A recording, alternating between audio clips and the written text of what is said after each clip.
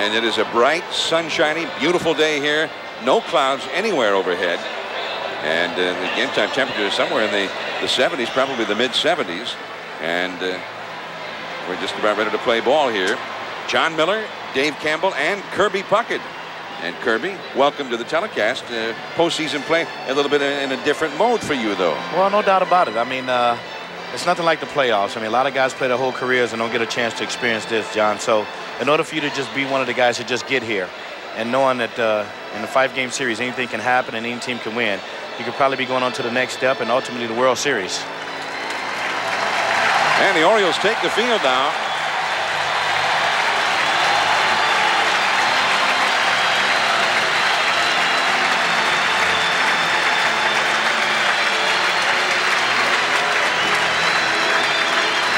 David Wells in charge with the responsibility of trying to shut down this high-powered Cleveland offense today. But Wells, look at those numbers, not very good. 11 wins, 14 losses, over 5 in ERA, and gave up a lot of home runs, too. Well, no doubt about it. But anytime you get the ball up, and especially in this ballpark, the ball carry, carries everywhere. And, uh, you know, he's out there trying to do the best he can. He's got a tough job today. If it's offense you're looking for, you're at the right game. One of the keys defensively for David Wells and the Baltimore Orioles is going to be their ability to keep Kenny Lofton and Omar Vizquel off base. You see Surhoff, Anderson, and Bonilla in the outfield, but Chris Hoiles has only thrown out 18% of the runners, and with David Wells on the mound, the opponents have score, uh, stolen 26 out of 30. So if Lofton, who has 75, and Vizquel with 35, 110 stolen bases between them, if they could get aboard, it could be a long afternoon for Hoiles, who has an arthritic shoulder. So there's Lofton, ready to lead it off. He led the league with 75 steals. He's hitting 317 for the year. 14 homers, 67 batted in. He's, he's not just a guy who gets on base. I mean, he's got a little pop, Kirby. 14 home runs. You can't take him for granted. You can't just uh, lay it in there and think he's going to hit a base hit. He can hurt you. Mike Hargrove. I remember sometime last year we ran into Jim Leyland doing a National League game on Sunday Night Baseball. And he started commenting about Mike Hargrove, and he says, maybe it's time that Hargrove starts getting recognition as being one of the top managers around. And I mean, certainly the bottom line is there. 100 wins last year to the World Series, and, uh, and here they are again, the, the best record in the American League, Dave. Kind of one of those understated guys, an organizational type guy, and they build from within with John Hart and Mike Hargrove. They're not the type of managers that call a lot of attention to themselves, and that seems to be more and more in the vogue in this day and age in baseball. Davey Johnson, the Orioles manager, first-year manager, and of course a great track record of success wherever he has managed in uh, first New York and uh, then Cincinnati. And he came here and uh, the Orioles underachieved for the first two-thirds of the year. Had a great stretch run to make the postseason, but he said after it was all said and done, he said, you know, I wanted this one more than I ever wanted any championship with any team. And he says, when you want something that bad, it, it takes a toll on you. So here we go. Kenny Lofton ready to stand in. The 1996 Major League Baseball Divisional Series ready to commence with it. The bunt, and it's popped up foul right back toward Kirby Puckett. And out of play for strike one. That's not much of a surprise to you, is it, Kirby? This guy's a pretty good bunter. This guy can uh, he can bunt with the best of them. As you can see, Zeile's way in at third base.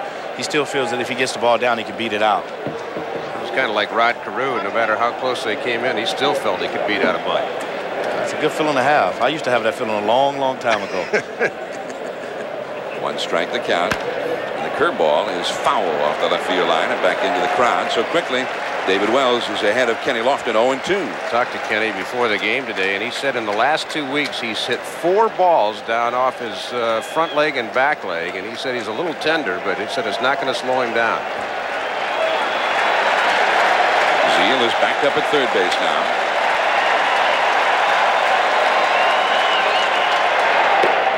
A high fastball taken for a ball. One ball and two strikes. You see the Jugs gun rating. And uh, Kirby Wells has got a little power. I mean, he throws, he throws hard. He's kind of sneaky. He sneak up on you a little bit, kind of lower you to sleep with that curveball, and he has a great changeup too that you won't see against the left-handed hitter, but you'll see it against the righty. One ball and two strikes. And a little bit low with that one apparently. Two strikes. Key for David Wells, and Kirby talked about it earlier, is staying ahead in the count. He can use all his pitches in, and the hitters won't be as, as aggressive. He got 0-2 on Lofton. He wants to make something happen here.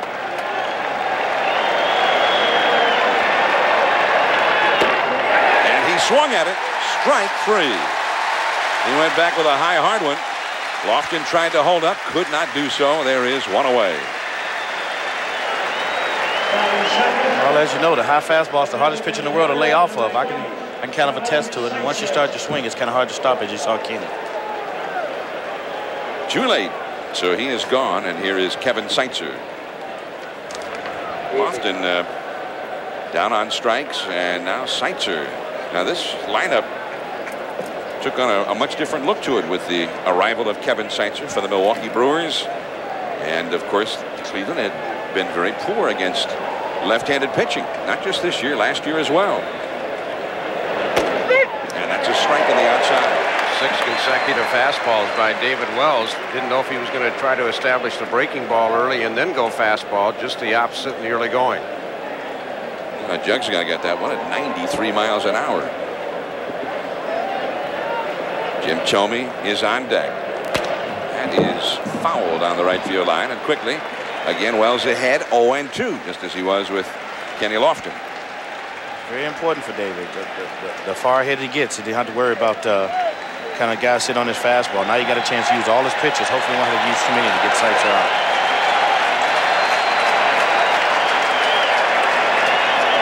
There's the curveball, and it's a base hit. Zeile made a dive for it, couldn't get to it.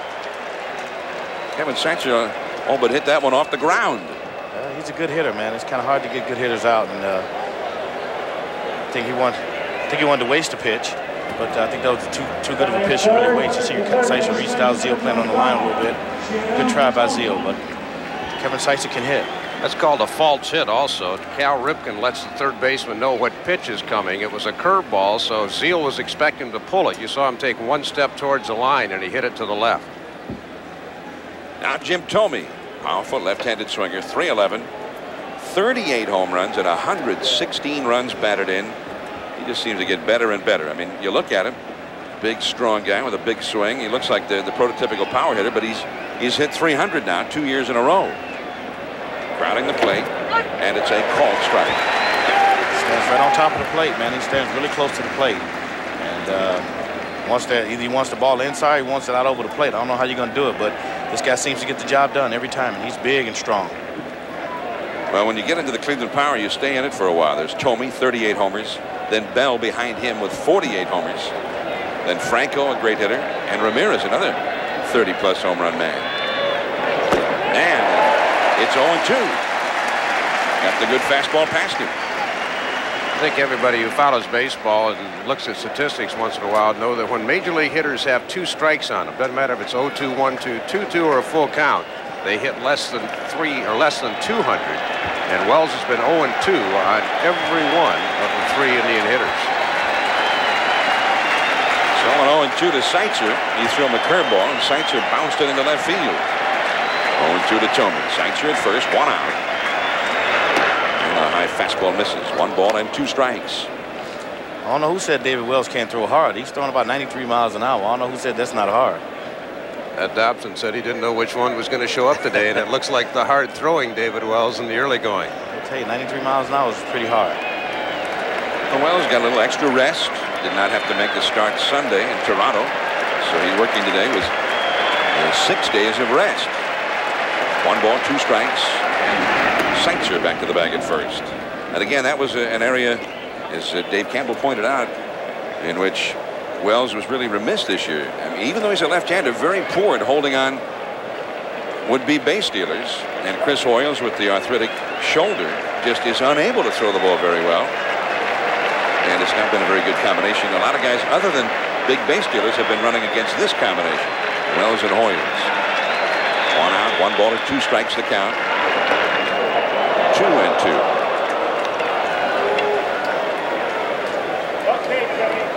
A lot of times managers control the running game by a set of signs and occasionally pitching coaches call pitches. And you see Chris Hoiles looking in, and I think Pat Dobson is calling a lot of pitches early for Wells. If he gets into a good pattern, maybe they'll turn it over to Hoiles at that point.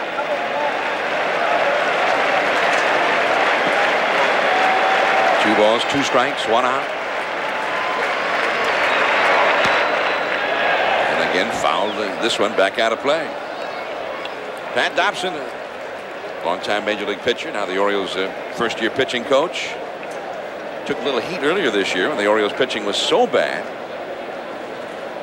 But of course, the Orioles made their stretch run, and the pitching was vastly improved. Yeah, one, one sunflower seed's a fastball, two's a curve. Now, Pat's going through some signs the sunflower system. Two the count to Thome. Fastball again, popped up foul. So Thome hanging in there. Ball back out of play on the third base side. Two and two the count. Kirby is a hitter, did you feel the more balls you could foul off and an at bat the advantage was more yours?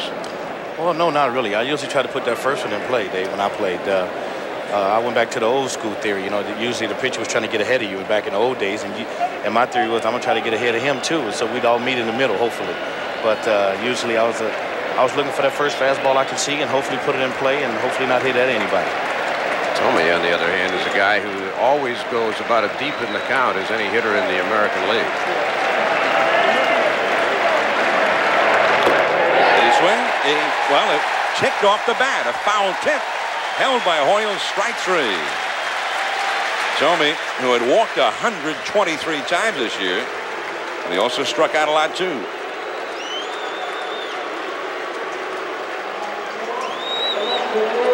So two strikeouts for David Wells. That time the umpire did not have to make a ruling on the check swing. The ball glanced off the bat. So here is Albert Belle. 311 average, 48 homers, 38 doubles, and 148 runs batted in to lead the American League. Last year, 50 home runs, and he backed that up with 48 this year. Two men down, runner at first. Right to Zeile. And no play. Seitzer safely in the second. Albert Belle safe at first. An error to Todd Zeile. Not a good beginning for Todd. He already got nailed on a false step on the curveball that Seitzer hit. Then he gets in between hopped here. He blocked it with his body, but he couldn't spot the ball. You could tell after it hit his body, he couldn't find it. He gets his body in front of it, knocks it down, but you see him going to the left, and the ball's back to the right. And no chance to get Albert Belle at that point. Well, I think he made the right decision by not throwing the ball. He thought that if he threw it, then he would uh, make the situation worse than it is. So he decided to just hold on to it. Hopefully, uh, hoping that it won't hurt him. David can get him out of the inning right here. Well, the Cleveland Indians, uh, one of their weaknesses is uh, supposedly their defense. And the last couple of years, they made a lot of, er of errors, and they tried to correct some of those problems this year with the trades they made.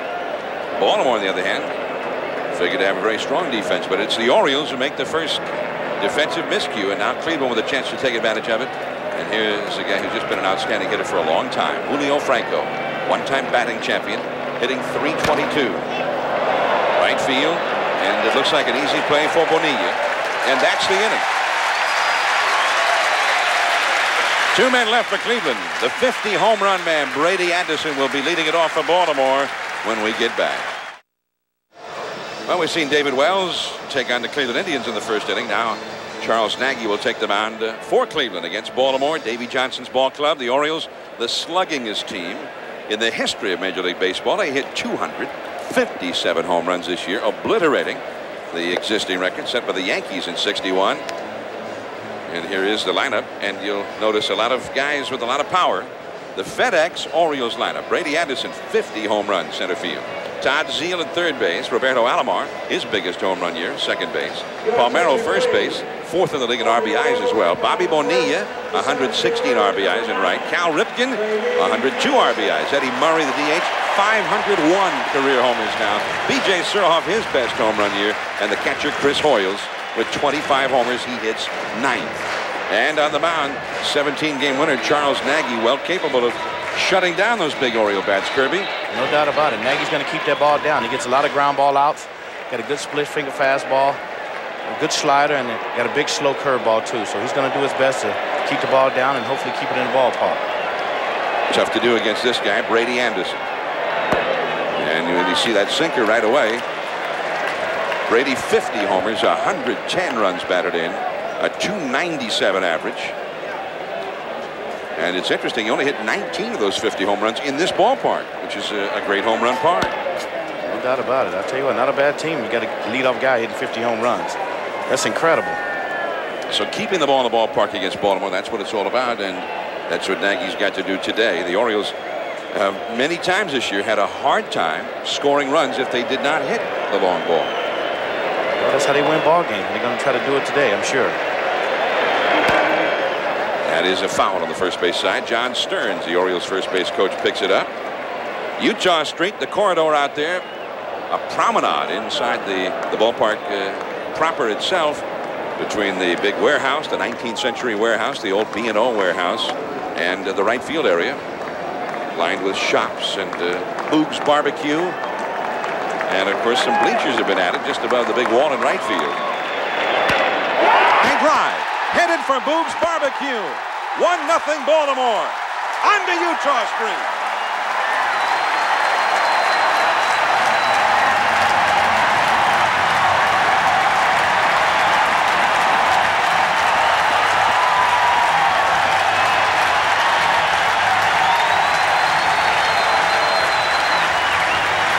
Well, Brady Anderson did that more often than any player in Major League history this year.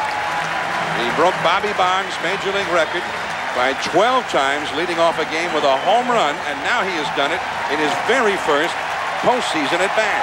Charles Nagy had only given up one home run to the Orioles this year, and that had been Brady Anderson. He's just hit his second. Now Todd Zeile.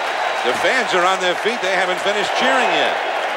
A strike to Zeile, the former National Leaguer acquired from the Philadelphia Phillies in a trade just before the deadline to lock in the rosters for the postseason. Zeile had 20 homers and 80 RBIs with the Phillies. He was their cleanup hitter. And the count is 0-2, and he came here to Baltimore and had a big impact immediately, but finished in a big slump, going one for his last 38 to end the regular year and only 237 average as an Oriole. Deep left field, but Belle reaches up looking to that bright sunshine to make the catch.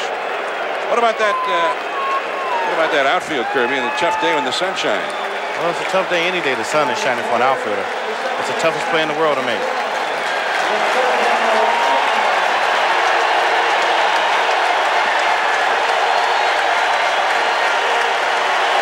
The reception for Roberto Alomar. A lot of cheers, some scattered boos, and many even rose with a standing ovation for Alomar, and he takes ball one. I suppose this time of year, if he's your player, Dave, the, the fans have one interest that he's in there and he has a great series. Oh, absolutely.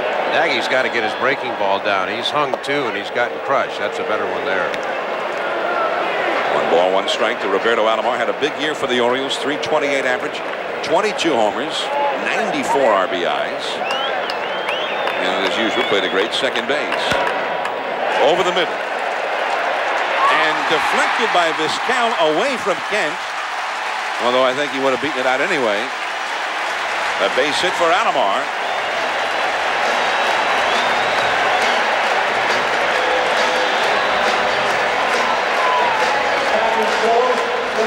Brady got a high curveball there from Nagy and uh, out of the ballpark. I tell you what, he hasn't been missing much. You get the ball up to him, put it in the zone. He's been doing one thing with it this year, and that's hitting it out of the ballpark. He's had a great year.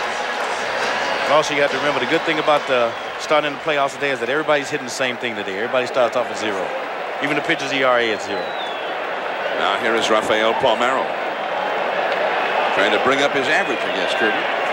Hitting zero. What's the matter with him? Palmeiro had did a little better than that in the regular season. Though 39 homers, 142 RBIs, fourth in the league in that category.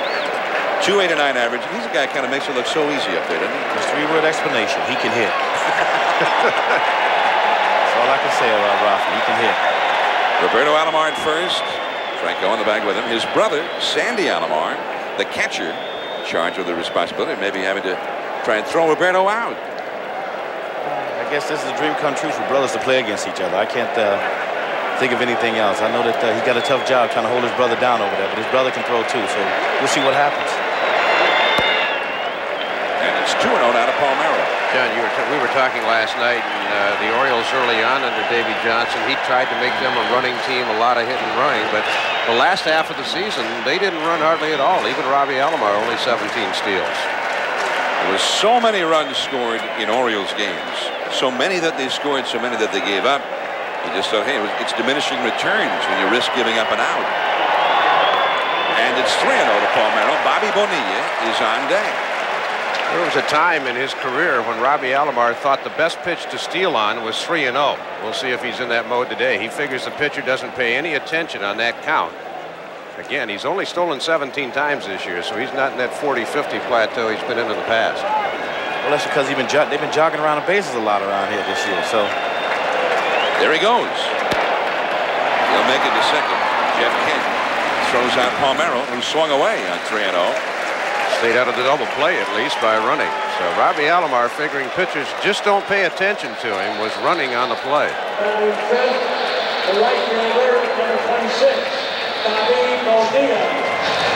Alomar gets a good jump. Nagy gives him kind of a cursory look. Kent stays down, sees he doesn't really have a play at second, and he takes the play at first base to retire Palmeiro. Also a good thing that Roberto Alomar did with that was look back to see where the ball was. If he wasn't looking, might have hit him. He had to jump over the top of it. Here's Bobby Bonilla. And he chases that uh, pitch and uh, it's 0-1. It's a tough pitch. I think there was a fork ball right there. As you see, Nays try to keep the ball down and away from lefties, I think, and uh, kind of running in on righties and then go away with his slider. So we'll see what happens. Bonilla ended up having a fine year with the Orioles. 28 homers, 116 batted in. One of four Orioles over 100 RBIs this year. And of course, then Zeile had 99. Most of them were the Phillies. Alomar had 94. I mean, this this club just had so much offense it, it defies defies rational discussion. Cal Ripken is on deck. One to nothing. Baltimore ahead. Alomar at second. Two down. And the count goes to two and one. He went to the fastball there. One time you could get Bobby Bonilla all day long if you could make good pitches with your changeups. This year against Charles Nagy, he is five for eight, so he's done pretty well over the last year and a half career-wise against Nagy. That is foul. He drilled it, but foul. Again, an off-speed pitch way out in front of it. Two balls, two strikes. You see some uh, scattered clouds off in the distance as we look in to the Camden Yards ballpark from down the right field line. The red, white, and blue bunting is out, a baseball tradition for the postseason. One nothing Orioles. Alomar at second, ready to go in anything. Two and two to Bonilla. And it's full now. Three and two. Now first base is open. You got a right-handed hitter coming up next. Well, he got 20 some home runs too, so you can't hide from these guys. Wherever you go, there's home runs and RBIs everywhere. So you're gonna have to face somebody.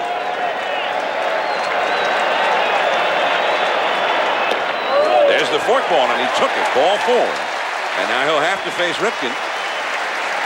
And Ripken actually had a long slump there, August and September, but finished up swinging a pretty hot bat. I think that's just a matter of Nagy knowing that Bonilla has owned him. He was going to throw him the perfect pitch, either make him chase out of the strike zone or go after Ripken. Cal's hitting 278 lifetime against Nagy, so he's right at his seasonal average against Charles. But the way Bonilla's owned Nagy, I think Charles remembered that and just said, hey, hit this splitter if you want to try to get a base hit. So this is the part of the Orioles lineup that harkens back to their World Championship team of 83. Ripken at the plate, Murray on deck. And a good fastball, knee high, right on the outside. It's 0-1. There's Roberto Alomar, got an infield single. He's at second base. And Bobby Bonilla, who walked, is at first base. And they'll both be off and running at the crack of the bat with two down. Going on to Cal Ripken. Different looking stance for Cal.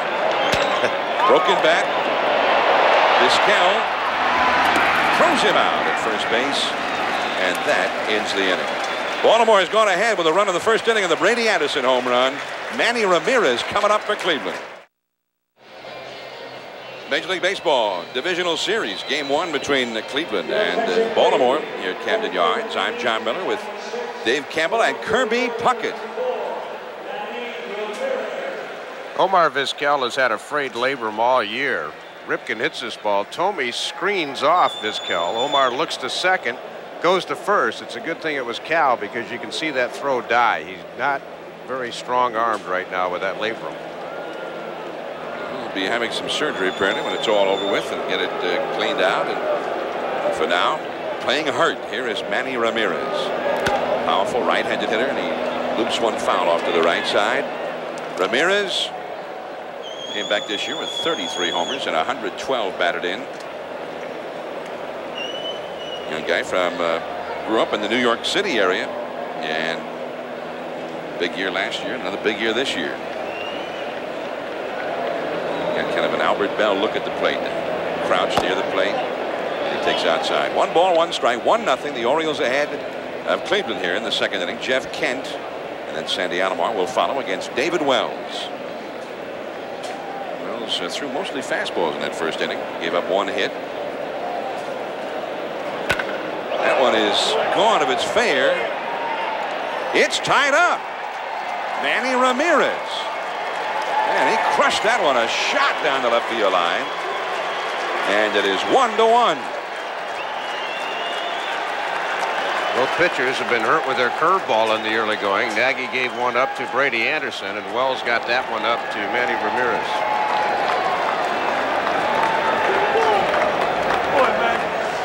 Pitch looked like a fastball right down the middle. Manny can uh, can hit fastballs with the best of them. Line drive, right? One arm, one-handed too. You see the ball, hit the ball a long way. It's out in front and everything, and still hit it out.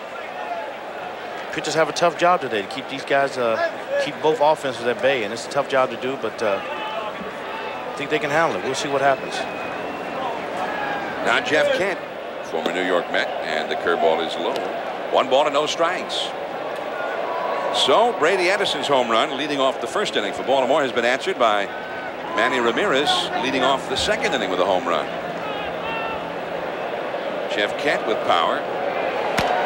But uh, he didn't do a whole lot of hitting once uh, he came to Cleveland. Kent with the Indians in 102 at bats, only three home runs, although he got his average up to 265 with Cleveland. But with the Mets, uh, usually up around the 20 home run level. Kent can hit a little bit. I think uh, everybody's kind of down on his defense a little bit, but uh, he could definitely play the game, else he wouldn't be here, that's for sure. Playing second base today for Cleveland. Just inside with a fastball from Wells. Two and one to Kent. You see with the Mets, he was hitting 290. But again, was a disappointment for the Mets this year with the home runs and RBIs. 12 runs, or 12 home runs total for Kent this year. That's a high foul back out of play on the first base side. Two and two the count. Kirby, uh, this is a happy ballpark for you. You came here for the All-Star game. Yeah. Was it 93? Yeah, that was a lot of fun. I was, I was tired, too, when I came here. And uh, just goes to show you that on any, any given day, anything can happen. And I uh, stepped up to the plate against Mulholland, hit a home run, then hit a double later on, and was MVP of the All-Star game. It's something I never expected. Two and two the count.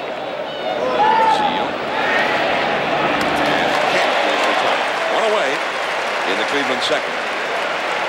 John, you mentioned the Baltimore defense. I mean, that's just been a tradition here over the last eight years. About 55 fewer errors than any team in the major leagues. It looks to me like it's a wonderful infield to play on. You watch games here on a regular basis. Well, Rafael Palmeiro and uh, Cal Ripken both saying uh, an excellent infield. Zeile said one of the best infields he played on all year when he came over here from uh, the National League. Here's Sandy Alomar a lot of Alomars here today. Sandy, the Cleveland catcher, 263 for the year, 11 home runs. He was in a slump for a good part of the season. Both he and Pena, the Indians were not getting much production from their catchers, but Sandy finished up hitting over 300 for the month of September. One ball, no strikes the count. One out, nobody out. 1-1 game. Omar Vizquel is on deck. And that fastball waved at and missed. Strike one. One ball and one strike to Alomar. Thought the pitch was a changeup uh, myself. Looked, looked, to be fooled a little bit. But as you can see, a tailing fastball away from him. One ball, one strike to count. Curveball is hit hard but foul on the third base side. One and two now to Alomar. Alomar, I saw him a couple of weeks ago in Chicago. Cleveland was coming in to try and wrap up the division against the White Sox. He says, well, hopefully we'll take care of them in a couple of weeks, and then we'll face Baltimore in the postseason, and I will kick Roberto's backside, he said. or something to that effect. I'm, I'm not quoting him exactly on that one. Pop up, Zeile, and that is shot number two. This is just the first of a lot of baseball coming up at 4 o'clock. The San Diego Padres, who won the West, taking on the St. Louis Cardinals in St. Louis. That'll be on ESPN. Then the Texas Rangers and the New York Yankees at Yankee Stadium. That'll be on NBC. My colleague Joe Morgan will be there. And uh, that's the rest of the lineup for the playoffs today. The Atlanta Braves and Los Angeles Dodgers will not get started until tomorrow in the National League. Fastball a little bit high to Omar Vizquel. Kirby, this guy come become a pretty good hitter. I mean, he you think of him as a glove guy, 297. He hit pretty well last year as well. well no doubt about it. He can definitely. Uh, everybody knows about his glove. I think he's gotten a lot better uh, this year as far as taking pitches and getting on base in front of Lofton when he did get a chance to hit ninth. And uh, he stands right on top of the plate and he makes you work. I mean, if you throw it right there, he can fool you. He can surprise you with a little bit of power too. So 2 0 to Vizquel. Two down, nobody on. And a pop up foul that will come back out of play. Vizquel. A little bit uh, less of a hitter as a right hander than as a lefty, at least this year. I think he's a better right-handed hitter than the left-handed, but I could be wrong. I think he has more power, I think, from the right side. First time Wells got behind anybody 2 and 0 through the batting order. Uh, he comes back and it's 2 and 2. 1 to 1 in the top of the second inning. Some guys have cousins when you're hitting. Kirby, I know you had some. Vizquel, not David Wells. One for 23 lifetime against Wells. and a pop foul that will go back out of play on the first base side. Leadoff man Kenny Lofton is on deck, and he would be next. Like I said, the good thing about today is that everybody started off batting zero today. Mm -hmm. So all averages and everything are good, but uh, you got to start a whole new average in playoffs and in the World Series.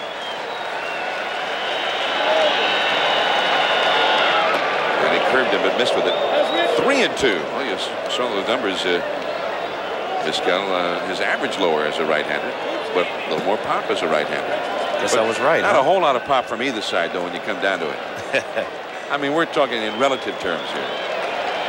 Three and two to Vizquel. And he walked him. This guy that David Wells has owned over the years, and he has walked him. Not a, not a good sign, uh, Dave. No, he got behind 2 and 0 and then started, uh, came back after him 2 and 1. But, you know, John, you were talking, and Kirby talking about, you know, your average starts all over in postseason. I mean, sometimes you expect big guys like Kirby did in the uh, series against Charlie Leibrandt to come up big, but sometimes in the postseason, it's big surprises. Guys like Brian Doyle and Dusty Rhodes. I mean, Mark Lemke in the 91 World Series. You just never know who the hero might be. Gene Tenace. In 1972, absolutely.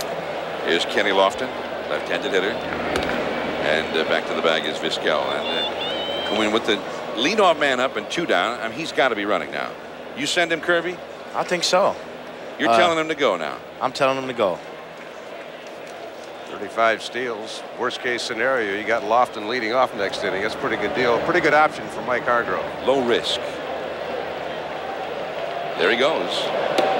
And he, he went on a curveball, and he is out at second. He overslid the bag. Ripken kept the glove down, and Vizquel went right past the bag and got tagged out. And on that unlikely play, the inning has ended. One to one as we head to the second. The Orioles have Eddie Murray coming up. And Kirby, an old friend of yours, Eddie Murray, coming up right now for Baltimore. Yeah, he's a good friend of mine, and uh, Eddie's done, done a lot of good things, and been a good friend of mine for the whole time I've been in the major league. So.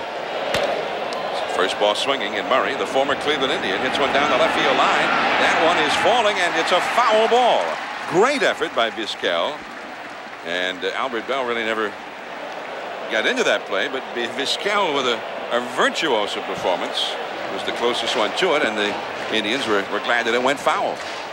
Well, we saw Ray Lankford tear his rotator cuff on a play very similar to this. Vizquel, that time, extended his left arm, and you see Jim Thome couldn't even find the ball. Vizquel, though, has the better angle. But Omar, we did see Lankford. Tore his rotator on his throwing arm. Vizquel already has a frayed labrum on his throwing arm and almost hurt his left arm there. Eddie Murray, he hit the last 10 of those 22 home runs upon coming to Baltimore in late July. The trade was made. Kent Mercker went to Cleveland in that deal. Murray back with the Orioles. Nagy throws him out. There's one away.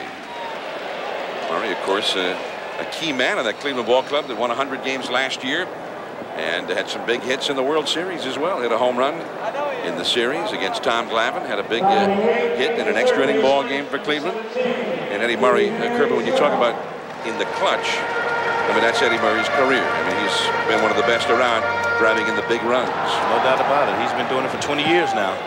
And uh, I don't think it, everybody just expects nothing else of Eddie but, uh, but the best. And uh, he's definitely one of the best to ever play the game. Now, B.J. Surhoff, former Milwaukee Brewer, two of the Brewers' uh, top hitters these last couple years in this series now with with Seitzer for Cleveland and uh, B.J. Surhoff with the Orioles. Surhoff developed some power here in Baltimore. 21 home runs, most of them in this ballpark.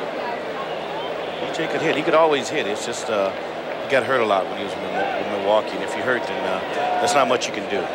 He was playing third base for the Orioles and did a pretty good job there. And when Zeile came over in the trade, they moved him to left field. There's a drive into deep right center field. This one headed for the bleachers. Two to one Baltimore.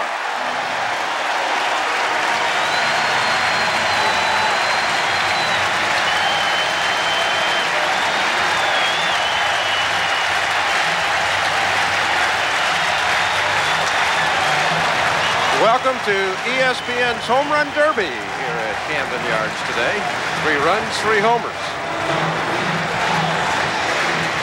Well, we can't be too surprised by that based on what these teams did in the regular year. Kirby, here's a look at it. Fastball inside, right where BJ wants it, right where any left-hander hit wants it, down and in, and put a good swing on it, kept his head down, and put a good swing, and nothing new out of the ballpark. So here's Chris Hoiles, another powerful hitter. 25 home runs for him this year. He's the ninth place hitter. Every man in the Orioles lineup is a home run threat. The, the lowest home run total of any Oriole in the lineup was beat was uh, B.J. Surhoff. Hit only 21. Oh, is that all? Hoiles hits one high in the air, shallow right. Ramirez in, Kent out, and Kent takes it just in front of Ramirez. A little confusion there. A lot of confusion. Usually uh, up to the outfielder to make that call. Manny's coming in. I think he kind of flinched like the sun was in his eyes. I don't know if he could see it or not, but uh, lucky Kent went out and made that play, but that was almost a disaster right there. Well, so many times in the history of postseason with that October sky, the sun always being a little bit lower, outfielders, infielders have a lot of problems. You think back to Willie Davis in 1966, three years in one inning. I mean, that was really a struggle. Or was that 63? 66. 66. No, 66. Yeah. The first uh, time Baltimore was in postseason play. Here's Brady Anderson. He led off the Orioles first with a home run. Brady Anderson, kind of a kind of a student of, of home run lore. He knows all the names of everybody who's ever hit 50 home runs in a season. Can recite them off to you, except he won't put his own name in there. Lofton into right center. And that ends the inning. Well, Baltimore's had two at-bats and two home runs. B.J. Surhoff going deep here. Lofton, Seitzer, and Thome coming up. Two to one, Orioles. We're at Camden Yards in Baltimore. Game one of the division series, the Orioles and the Indians. And there's the look from the rooftop of the B&O station down at Eutaw Street. Uh, behind the bleachers here at Camden Yards. And now I look back into the, the beautiful ballpark here. We got two ball clubs here with great new ballparks. Jacobs Field in Cleveland, one of the the outstanding new ballparks built. Coming up, 4 o'clock, Joey Hamilton and the Padres taking on Todd Stottlemyre and Tony La Russa's St. Louis Cardinals. And uh, it'll be interesting. You mentioned uh, Ray Lankford. It'll be interesting to see what Lankford's status will be for that ball game. That's coming up next on ESPN after our ball game here. And then later tonight at 8 o'clock, the Yankees and the Rangers. And that game will be seen on NBC. Kenny Lofton, he struck out his first time. A guy, despite all their power, Cleveland needs him to get on base and make things happen. It's a, a big part of their offense. Lofton scored 132 runs this year. And that's a strike, and it's 0-2 from David Wells. Zeile again was playing very shallow at third base. Now with two strikes, he backs up a little bit.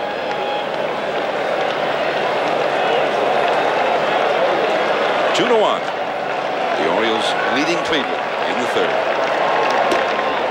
And fastball missed. One ball, two strikes. Kevin Seitzer on deck. And then Jim Thome for Cleveland, the top of the batting order here in the third inning.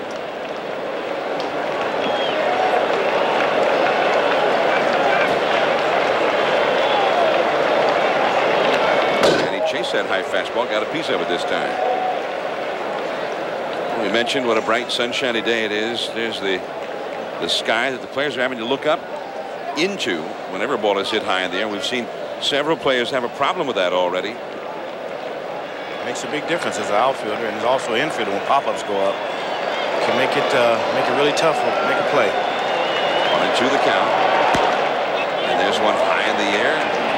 Ripken out. Surhoff in. And Surhoff. And again, Lofton kept off the base pad. That's going to be a huge key for David Wells. We saw with Vizquel, who had the base stolen so easily, but overslid the bag. But if Wells can keep Lofton off base, that's going to go a long ways towards helping his club win today. I guess when you're a manager in big ball games like this, because the difference between clubs at this level is so slight, that that's a manager's worst nightmare, right? The little unforeseen things that happen, like a guy stealing a base but sliding off the bag. I mean, how often does that happen? You almost never see it. Here's Seitzer, and he takes a strike. On an 0-2 pitch, he singled on a curveball into left field his first time. He's one for one. Probably won't see that curveball again if he goes 0-2 on him. I guarantee it. One strike the count to Seitzer.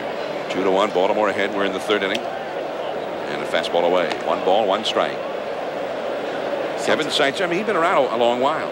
Something that intrigued me is that, uh, oh, he's been around a long while. He can hit, man. I mean, uh, if you get a guy on second base, and Kevin's a, he's a prototype number two hitter, he's going to get that ball to, to, right field to get that guy over and do his job. And uh, he's always been able to do that.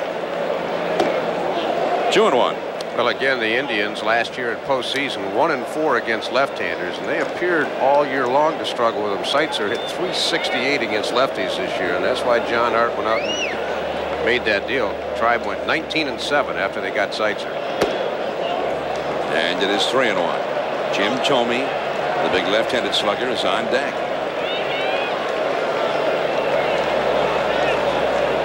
There's Thome.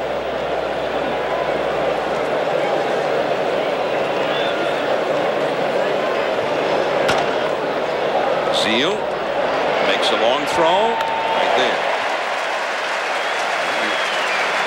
Went after the three and one pitch, turns into an easy out. Two men gone now with Thome coming up. One of the key things for David Wells, first pitch strikes, eight out of the first 11 hitters. He has gone 0 1 on. I think he turned that pitch over a little bit on Kevin Seitzer looking for something to really juice right there and uh, just took a little bit off of it, kind of faded away from him. Some pitchers call it a batting practice fastball when they just know a hitter's all juiced up for that good heat. They just kind of throw in about 70 up there. Well, I, I'll tell you what, it better be fading because if it's out over the plate, he can be hurt by it. Here's Thome. And he's hurt a lot of guys this year. 38 home runs. Struck out his first time today.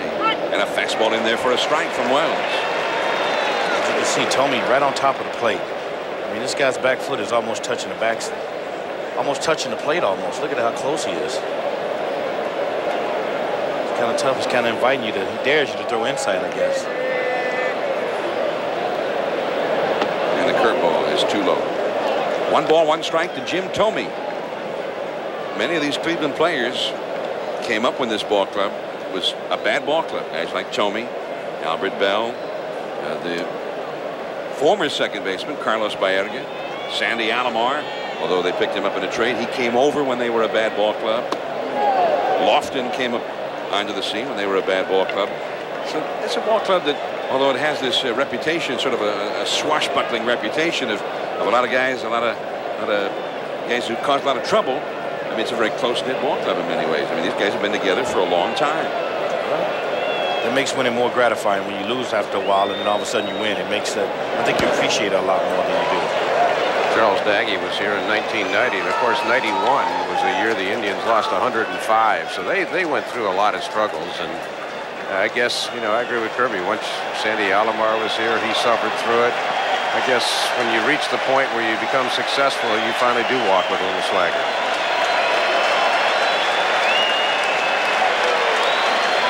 Two and two the count to Jim Thome.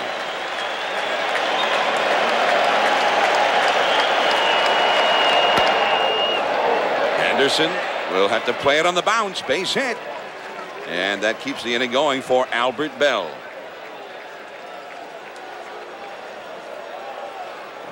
See Thome's back foot right right on top of the plate and ball inside. He's so so big and strong. Just turns right on it and hits it right in the center field for a base hit. The inning going for this guy right here who can hurt you anytime, any place, anywhere. Albert Belle. And of course, uh, I mean, Albert's not just a guy up there swinging from the heels, trying to pull everything. I mean, a little home run to center field, to right center. The whole ballpark. It even makes them more dangerous. Say when between at bats, the Indians are in the dugout. Albert go back and look at the video machine of previous at bats, trying to get that little edge against a pitcher. Well, as a player, you want to keep that edge. Once you lose the edge, then you're not going to be any good anymore. So you have to be just a little bit better than everybody else And in order to keep that edge. That's what Albert has to do to stay sharp and keep the edge. That's what he's going to continue to do. Also keeps a book not only on every pitcher he faces, but on every umpire and their tendencies behind home plate. I asked you before the game if you did that, and you went, I'm up there hacking. Yeah, that's what I try to do. I go back to the old school, though, you know. When pitchers try to get ahead of you, you know you're going to get something close to the plate. And a fastball for a strike on the inside. Albert didn't want to call a strikes in there. Because he usually don't let. Usually when you throw inside like that, he usually hits it out of the ballpark. So uh, I guarantee Wells won't come back in there again with that same pitch. One ball, one strike to Albert Belle. Two down, Thome at first. We're in the third inning. It's Baltimore two, Cleveland one. See, Albert has had some success against Wells in the past.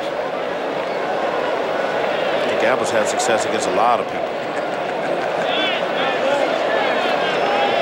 less against Wells than a lot. A high pop-up. Back of third. Ripken comes over. Zeile in foul ground. Zeile. And that ends the inning. Albert Belle fouls out to third, leaving a man at first. Todd Zeile coming up, then Roberto Alomar and Rafael to one Baltimore. ESPN's coverage of the 1996 Major League Baseball Divisional Series continues now from Baltimore. Game one of this series and game one of the whole tournament. And there's a called strike to Todd Zeile. Coming up at 4 o'clock, it'll be the Padres and the Cardinals here on ESPN. Chris Berman and Buck Martinez will be there to cover the action. Todd Zeile flied out deep to left his first time, and Nagy misses with one. One ball, one strike. Later tonight, it'll be the Yankees and the Rangers. Pretty interesting series there. David Cone and John Burkett will duel at Yankee Stadium. That'll be on NBC at 8 o'clock tonight. And sinker misses inside. Two and one to Zeile. Charles Nagy, the ace right-hander for the Cleveland Indians, a 17-game winner, but he has given up a home run in each of the first two innings. Vizquel gets to it. The throw. Not in time. Well, again, it's very apparent that unless Omar Vizquel fields the ball cleanly, the weakness in the throwing shoulder, no chance to get Zeile. I mean, Omar at one time, when he's healthy, has a good arm. He doesn't come up with it cleanly. And then when he finally gets up, Zeile a slow runner, but he just can't get enough on the throw. Yeah, out there playing with sheer guts right now, and uh, shoulders hurt a little bit. But as you can see right there, Nagy, another curveball up in the zone that he gave Zeile a chance to hit over there in the hole. And uh, it's a good try by Vizquel, but he just couldn't throw him out. Here's Roberto Alomar. Got an infield hit his first time. Fastball down and away. That sinking fastball. One ball and no strikes. Kirby, you mentioned it from the very outset. One of the keys for Nagy, getting the ball down. And, ball uh, down. Yep. And that's we saw it there. I mean, that pitch was really up to, to Zeile. Palmeiro on deck. And he misses outside of the fastball. 2 0. Charles Nagy, a lot of people say he should be in contention for the Cy Young Award. And when asked about his season, he said, yes, a good year, but if I don't do well in postseason, people are going to forget how well I pitched during the season. There's no doubt about that. And it's two and one now to Alomar with Rafael Palmeiro coming up next. Alomar has had a, a history. You see Mark Wiley, the Cleveland pitching coach, and a former Orioles pitching coach. And there's a lot of uh, Baltimore influence in that Cleveland hierarchy. But uh, Alomar, when with Toronto, had a history of being at his very best in the postseason. There goes Zeile. Just a dribbler. Sandy Alomar throws out his younger brother, Roberto, as Zeile takes second. Well, again, the Orioles did not run much towards the end of the year, but we saw Alomar steal on a 3-0 count, saw a hit and run play there, so maybe Davey Johnson's reverting back to National League Baseball here in the playoffs. Well, it might be a good idea, though, Dave, right? I mean, you expect, although they had all of these runs scored in the regular season, it's going to be a little tighter a little lower scoring probably in the postseason. Well, everybody expecting it in the National League with the great pitching staffs over there, but in the American League, wondered if they felt the same way, but evidently Davey feels it's going to be a relatively low-scoring game. And also, you got a guy coming up with 142 RBIs. We get him in scoring position for him. See you at second. One out. And Baltimore leading 2 to 1. Palmeiro grounded out to second on a 3 0 pitch his first time Other people, maybe with Brady hitting 50 and Cal and Eddie 142. Jim Gentile back in 1961. And Palmeiro set the new record. And that sinker is low. Of course, 61 was the year when we had eight guys hit 40 or more home runs. Would we have 17 this year? Vinny Castilla becoming the 17th to do it? 17 like with uh, 28 teams and eight that year with 18 teams. And that's a foul by Palmeiro. Hey, tell you what, if you're an offensive-minded person, it was definitely your year to be to watch a lot of good baseball this year if you like offense. If you like pitching, then you probably didn't want to watch much this year. Well, which do you like? Uh, I like I like offense. what a surprise! Well, I mean, uh, I mean, I think it's awfully nice to have two to one games when uh, every sometimes, but uh, I think people want to see action. Zeile in second. That one is hit deep and fouled on the right field line. And again, Kirby up. Up in the zone a little bit, yep. Right. Has to keep that ball down, and uh, as you can see, when you get the ball up, he can get hurt. And uh, but I, I, guarantee you right now, he's going to throw that ball away from from Rafi right here and try to make him uh, pull a ground ball to second or something and try to keep it down. See the Orioles with the league record, and uh, two other ball clubs broke the Yankees' old uh, home run record as well. Two and two inside with the fastball up again. Three and two the count. Amazing thing to me, Kirby, as you watch Palmeiro, is how effortless his swing seems. No, no wasted motion at all in his swing. Bobby Bonilla on deck. Runner at second, one out of the third. Nagy trying to hold the line here, already trailing two to one. Into right center. Ramirez back. It's over his head and going to the wall. Zeile will score. Palmeiro with a double. 3-1 Baltimore.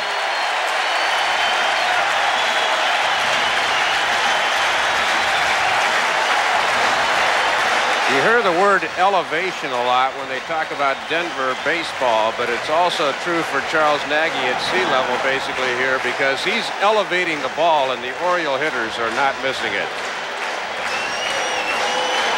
Mike Wiley on his way to the mound. That's the pitch again, the hanging fork ball it looked like, and Rafi just hit it right into uh, right into the right center field gap. It was definitely up in the zone. You have the ball up, you've done half the job of the hitter. He doesn't have to lift, he just has to make contact. That's right, and I'm sure if you ask Nagy about that pitch, he'd like to have it back. Well, Palmeiro, in addition to his 39 home runs, also had 40 doubles in the regular year. And, and you don't get 142 RBIs unless you bring in a lot of guys when they're out there at second base. Yeah, but you got to be fortunate to have the ducks on the pond, as they say. And uh, had a guy in front of him that hit 50 home runs and scored 100 some runs, and a guy hitting second that uh, also hit 20 some home runs and scored 130 times or whatever. So Here's Bonilla. And he takes ball one. Bonilla walked his first time. And again, first base is empty. And the right-handed batting Ripken is on deck. And Bonilla, as uh, Day pointed out the first time, has done well against Nagy. Five for eight lifetime. Pickoff coming with the Vizquel moving in behind Palmeiro at second, but no throw. Nagy has labored here. 46 pitches. And Baltimore really has had a very considered approach. I mean, they've not been swinging a lot of bad balls. Often against pitchers like Nagy, they did. That is a strike. One ball, one strike. Makes it kind of tough. I bet you Wally went out and told him that he had a base open uh, with Bonilla and probably told him you got to get the ball down. I bet you that's what he told him.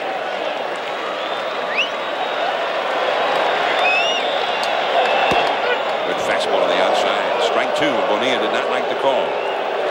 fastball in, fastball away. Nagy this year has struggled a little bit against Cleveland, though. Against Baltimore, though, he has allowed 26 base hits in 17 innings. What do you think, Kurt? Strike? Man, I'm a hitter, man. That was out. That was outside. An overhead shot. I saw you. I saw you flinch when we saw that. Well, uh, flashbacks. You know, I kind of get these flashbacks when I'm up here. And, uh, but the umpire called it a strike, and that's the good thing about baseball. If he calls it a strike, no matter where it's at, it's a strike. Drew Coble, the home plate umpire. All right. Now, what about that pitch then, Kirby? Well, uh, I've, I've been a long time since I've seen this many pitches. So that pitcher can't have both sides of the plate, right, Kirby? Well, I'll tell you what. I'll tell you what that, actually, that was a good pitch by Nagy. I, I could have sworn he was going to go away with that pitch, but he came back inside. It looked pretty good too. Looked real good. And there's the splitter, but too low. Three and two now. Jabonilla same count he had last time, and he threw him a 3-2 splitter down and away last time. Let's see if he changes his pattern. He's got Bonilla thinking out there probably, but he also could pound him in with a fastball. There's Palmeiro at second. One out. Three to one. Baltimore ahead. Right back to Nagy. He looks Palmeiro back. Bonilla is retired. Out number two, and now Cal Ripken is coming up. Palmeiro, by the way, you see him limping around a little bit. He's got a very bad left ankle. He thinks he hurt it against the Yankees two weeks ago. He's getting it uh, treated before every game. He's getting it heavily taped before every game. But he really has been hobbling out there, and it's it's ugly to look at. It's all swollen. But he's not able to take the time right now to, to let it heal up. No, not right now. You don't have a lot of time for healing right now. I think uh, if you don't have anything broken, you're going to be playing in these games right here. This when they really count. So Ripken now with a man in scoring position. He grounded a short his first time. Uh, set up on the outside. That one came inside. One ball, no strikes. As you can see, Nagy uh, missing a lot. He usually doesn't miss a lot. Usually when uh, Alomar sits outside, he throws it outside. So his uh, location was a little bit off today. But uh, here's Ripken hitting again with a new stance again. Every time I see Rip, he's got a new stance for him. So got a thousand of them. On the outside, nice pitch. One ball, one strike never ceases to amaze me. You have success one way, then all of a sudden, uh, if he gets three hits one way, he'll come back the next day and he'll change his stance. Uh, him and Kent Hrbek were the best guys that, I, that I've ever seen to like change their stance overnight. I don't know about them, but me, if I get three hits, I know the next time I come up, I'm the next game, I'm batting the same identical way that I did the night before. And that's outside. Two on one to Cal Ripken. Palmeiro at second, two down. Eddie Murray on deck It's going to be very important with that bad ankle of Palmeiro that he get a very aggressive lead. Manny Ramirez led the American League in assists this year. Lofton throws well in center field. And that's foul. Two and two now to Cal Ripken. It's a matter of Palmeiro, not a real speedy runner to begin with, but you can still be a good base runner even if you don't have great speed. You just got to lengthen your lead out a little bit and hope maybe Sandy Alomar isn't in a throwing mode to try to pick you off.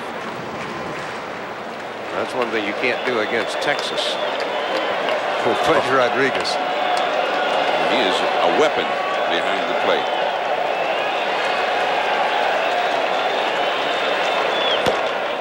Cal, that one came up and off of home plate and hit him. Wonder if he'll miss a game. I was thinking the same thing. I don't think there's anything to keep him out of a game. I think he'll uh, swing. He's out front of the fourth ball, comes back up and hits him. To Cal Ripken. Played now in 2,316 consecutive games. He played 163 this year. The Orioles had a tie game with Texas. Did not count in the standings, but counted as game played. Two and two. Palmeiro at second, ready to go on anything. Down the left field line into the corner. Foul. Hit that one pretty well. Like a fastball away. It was up a little bit too, I'm sure.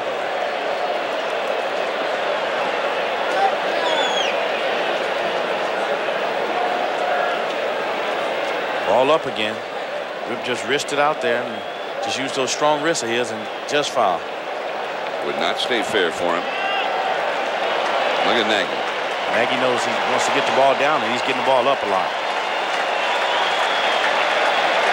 Two and two. Over the infield. Base hit. Palmeiro will score. Cal Ripken delivers another run.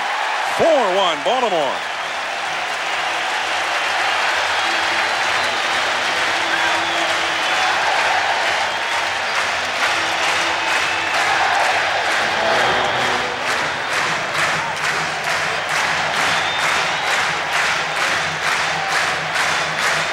Well, again, watch the height of the ball. It's a bloop hit. He gets jammed, but when you get the ball up, then you can fist it over the infield. If the ball's down and you get jammed, it's a little weak grounder. So again, Nagy is up as Cal just looked hopelessly on as Cal drives in a big run.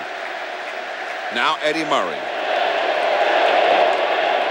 One ball and no strikes. Murray hit a little dribbler back to the pitcher his first time. He's 0 for 1. Started the year with Cleveland and it was traded to Baltimore only after Mike Hargrove announced that Eddie was going to become a platoon player for Cleveland.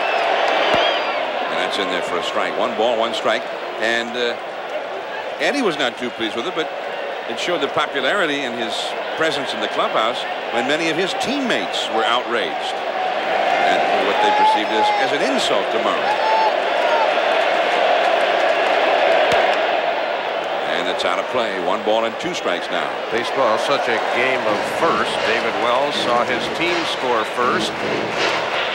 We also talked about first pitch strikes. Wells is throwing 9 out of 13 first pitch strikes. Charles Nagy 11 out of 16 first pitch balls. He's been getting behind in the count, and that makes hitters a lot better. That's off the outside, two and two. Cleveland has the bullpen up now. Right-handed Danny Graves, a rookie, has started warming up in the Cleveland bullpen. We're only in the third inning. This is not what Mike Hargrove had in mind. Ace right-handed Charles Nagy giving up four runs and six hits. We're only in the third. Right to Franco at first base, and that will retire Murray and the Orioles. But two more runs for Baltimore. Three hits. Franco and then Ramirez coming up. ESPN's coverage of game one of the American League Division Series between Cleveland and Baltimore continues now. Top of the fourth inning. The Orioles four, Cleveland one. Jon Miller, Dave Campbell, and Kirby Puckett here with you. Joe Morgan will be back with us tomorrow. He's working the Yankee Ranger game tonight for NBC. That's an 8 o'clock uh, telecast on NBC. Coming up after our ball game, the Cardinals and the Padres will get underway in St. Louis at about 4 o'clock. And here's Ball one to Julio Franco. By the way, because of the delay here without the umpires being present, we had a delay here getting started. The starting time for game two of our broadcast day, the game in St. Louis will start now at 425, we've been informed. Here is Julio Franco with a one ball, one strike count. He flied out to right his first time. And then Manny Ramirez, who homered, is on deck. Jeff Kent due up third. David Wells goes to work now with a three-run lead.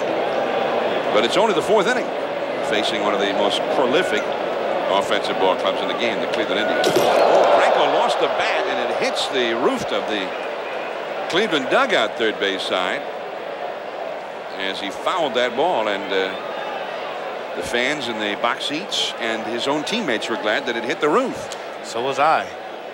the fans in the front row are going, thank you so much. Well, as you know, Franco holds the bat. He holds down on the knob, and he only holds it. He's so strong with his only two fingers and his thumb. That's it. He doesn't have the, the ring finger and, and, and the little pinky holding the bat. So he's pretty strong, and he's holding, he's pointing it at the pitcher. and therefore for slipped out his hand that time. Pretty long and heavy bat, too.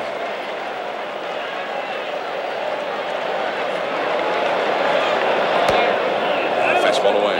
Full count now to Julio Franco. Or I beg your pardon, two balls, two strikes to Julio Franco. See, Nagy, as uh, Dave was pointing out, has started behind almost every hitter. Wells has started ahead of most of the hitters on his side.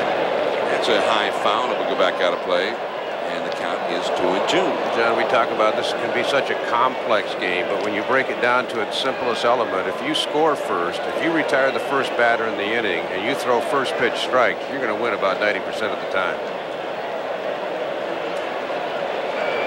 It's too simple for me.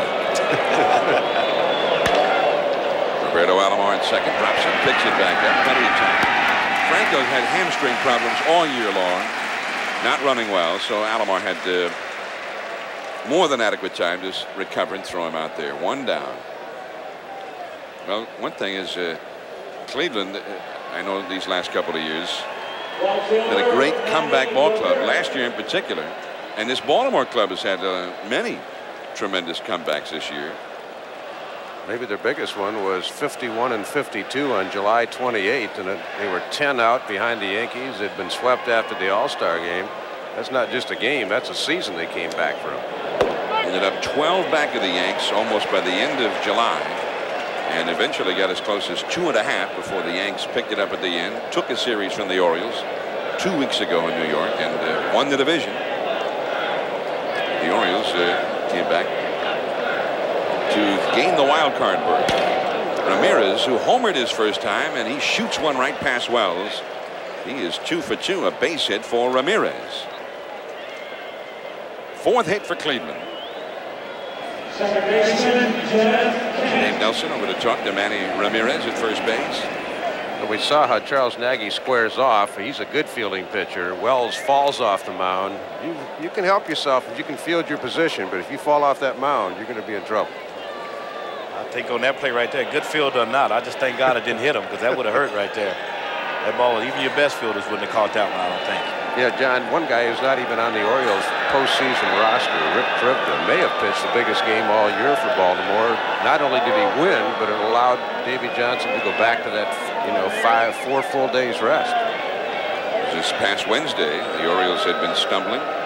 They were in Boston facing the, the red-hot Red Sox, and Krivda, the young lefty, got charged with pitching a very big ball game, and he pitched beautifully, and they won the game. Seen right here on ESPN, six to two last Wednesday night against the knuckleballer Tim Wakefield. And many really thought ahead of time it was the biggest game of the year, and he came through beautifully. But he's not on the postseason roster. He wasn't active when the rosters were frozen at the end of August. He was then uh, clinched the wild card on Saturday in Toronto, enabling Wells to make the first game start here. And it's a strike to Jeff Kent. Grounded to third his first time. One out, one on, fourth inning. Four to one Orioles. We talked at the beginning about how on paper everything looked like Cleveland in this game. Their best pitcher Nagy, Wells had been struggling terribly, but this would be a tremendous lift for the Orioles if Wells could give him six or seven, and then Davey Johnson can utilize that eight-man bullpen, eight-man bullpen, and get the matchups he wants. He's got a lot of lefties and righties down there, so they're going to be specialists in this series bullpen, much behind group much of the year. Rocky Coppinger there, number 27, was a starter in his rookie year. He's out in the bullpen now as well. They give them eight men out there. Up and into Kent. One ball and one strike. Sandy Alomar is on deck. And there's Davey Johnson. Doing a little uh, extracurricular reading. Well, he's uh, got the lead here. Now that's relaxation, Kirby. Doesn't look too worried to me. I think that uh, he was losing. I don't think he'd be reading that, I don't think. So Wells has always done well against Cleveland. That is a fair ball. Headed for the left field corner. Surhoff up with it. Kent heading for second. In there with a double. Ramirez stopping at third. A long way to go yet in this ball game, and if you're the Cleveland Indians, you, you might well look at it. Well, they've only got a three-run lead against us. I mean, Cleveland scores a lot of runs. What a pitch from Wells. It was a good pitch, fastball inside, right where Kent wants it. Uh, put a good swing on it and didn't hook it enough. It just stayed fair by by, by plenty of plenty of feet, plenty of room down there, and uh, got a double out of it. I mean, it's, it's only the fourth inning, man. This game got a long way to go, and uh, I think it's going to be a lot more runs scored than people think today. But we'll have to stay tuned and watch. All right, well, we'll stay. Okay, I you will stay and we'll stay. I'll stay. We've got a commitment now. Kirby will stay the rest of the day. One out runners at second and third. Here's Sandy Alomar. And it's ball one. Suddenly Wells not starting ahead of every hitter. Looking a little tentative after that shot by Ramirez back through the middle, and then fastball Kent turned on very well. Omar Vizquel is on deck. The infield stays back, normal depth. And a pop foul off the first base side. One ball, one strike. Radar reading at 91, so Wells still has good pop on the fastball. ESPN in the postseason, and we'll have you covered through the postseason. Back here in Baltimore tomorrow at 1 o'clock. Have a, a, ball game from Dodger Stadium at 4 o'clock tomorrow, as well as uh, coverage by NBC and Fox in the primetime hours. That is a base hit. Sandy Alomar over the head of brother Roberto. Kent will be held at third, but with the high throw by Bonilla, good base running. Sandy Alomar takes second base. That's a bad throw there by Bobby. Uh, as any outfielder knows, what you're supposed to do is uh, hit the cutoff man, and I think what he tried to do was hit the cutoff man and maybe do a little bit too much, but uh, let Alomar get in scoring position. I think he should have just kept. Well, especially with the two-run lead after the runner scores, you got to keep the double play in order. Keep the double play in order. That's right. Bobby Bonilla comes in. He makes a good play on the half hop, but when Sandy Alomar sees this ball airmailing Rafael Palmeiro wisely goes to second, and Hoiles has no chance. Look at Sandy. He reads that right away with a high throw. That's what you're taught is when you hit the ball like that, and if the outfielder doesn't hit the cutoff man, and just keep going. And uh, Bobby's hoping right now that it doesn't cost him, but a base hit right here can tie up the game. That's right. So now both men in scoring position. Omar Vizquel, the hitter. Zeile shallow at third. Palmeiro pulled in at first. The middle infielders are deep. And that's a foul out of play. Vizquel walked his first time. Now, had Bonilla hit his cutoff man and kept, held Sandy Alomar to first base, they'd be in a spot where a double play would end the inning. No doubt about it. That drives managers and coaches nuts right there, that play that Bobby just made. But you know what you have to understand is that we're all human, and it's happened to all of us that, that actually got a chance to play the game at one point or another. Don't tell me, Kirby, tell him. Uh, no, I'm not telling anybody. Tell anymore. Davey. I, I don't play anymore. Davey is not too pleased. There's strike two to Vizquel. Remember, Vizquel only one for 23 in his career against David Wells. Jeff Kent at third base, Sandy Alomar at second base. There's Kent, and there's Sandy. A base hit to the outfield could tie this game. 0 and 2 to Vizquel. Kenny Lofton is on deck. Inside. One and two now. But you can see Wells trying to pound Vizquel in, I think, trying to keep the ball in on his hands maybe. It's always an important inning, too. After your team has extended the lead, the Orioles came in 4-1 going to the fourth. Wells doesn't want to give it right back here. That's discouraging to his team.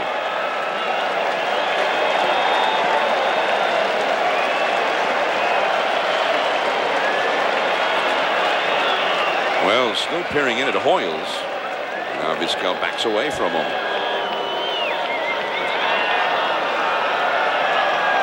Wells has now thrown 70 pitches, and we're only in the top of the fourth inning. One out. The swing. The appeal, no, says Greg Kosc, the first base umpire. Two and two the countdown. Well, the rule of thumb always on a switch hitter who doesn't have big power, and Vizquel fits that mode. He's got some, but you pound him in, especially with two strikes, because they're trying to find a way. He didn't go. Good call by the first base umpire, Greg Kosc. See if he stays in on him right here or he tries to go away from him. Kent at third base. Sandy Alomar at second. He went away that time, and Vizquel It's it foul into the second deck. Two and two. Haven't seen much of David Wells' changeup today, which he has one of the better ones. He's primarily gone probably about 75 to 80 percent fastballs this afternoon. I don't know that you'd want to throw a changeup to Vizquel unless you think you've really got him to speed up his bat with all the fastballs you've thrown him. And fastball, and he uh, hit it hard but foul. I got to see changeup here. He threw a fastball. Omar opened up. Kirby, you're shaking your head no, but I, I, I think you've got his bat speeded up a point. If you can go, you can go down and away with a changeup, you can get him. Well, you might have a good point, but what if he throws a changeup and then he hits it hard, so he makes mistakes and hang it? I think that uh, right here he should go with his best pitch to get on Omar out, and I think he's going to come back inside right here. I could be wrong. I'm wrong a lot, but let's see what happens. And fastball, but away. Two and two. Yeah, there's two rules of thought. I mean, you never want to do what you call a punch and Judy, although I think Omar has become a little better than that with that 297 average. You don't like to throw them soft stuff, but if they start turning and whipping your best inside fastball in the seats down there, then you got to maybe rethink. Oh, 297. There's no such thing as a punch and Judy at 297. Kent at third, Alomar at second, one out. And again, he punches it foul, speaking of which. Two and two the count to Omar Vizquel. I still think he's going to come inside here at some point. I don't think he's going to go throw a changeup, David. I could be wrong. Well, he, he certainly hasn't shown any inclination to. I don't think he's going to go back, coming back inside right here.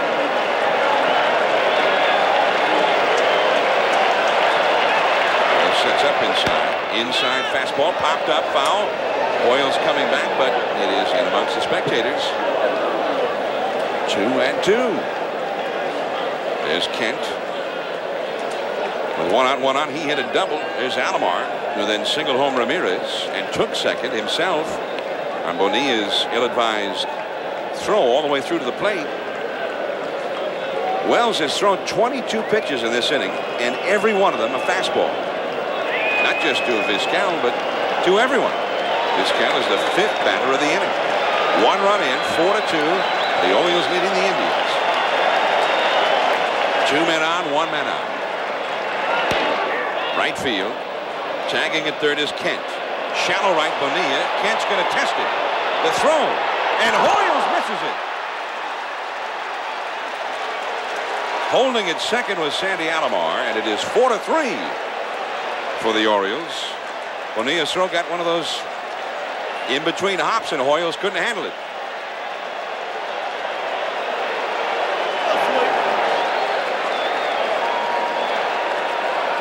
You Bobby Bonilla sets up very well on this, gets all the momentum coming towards the plate. They've got him. If Hoiles can come up with this throw, but it hit a little bit too close to him and can't in.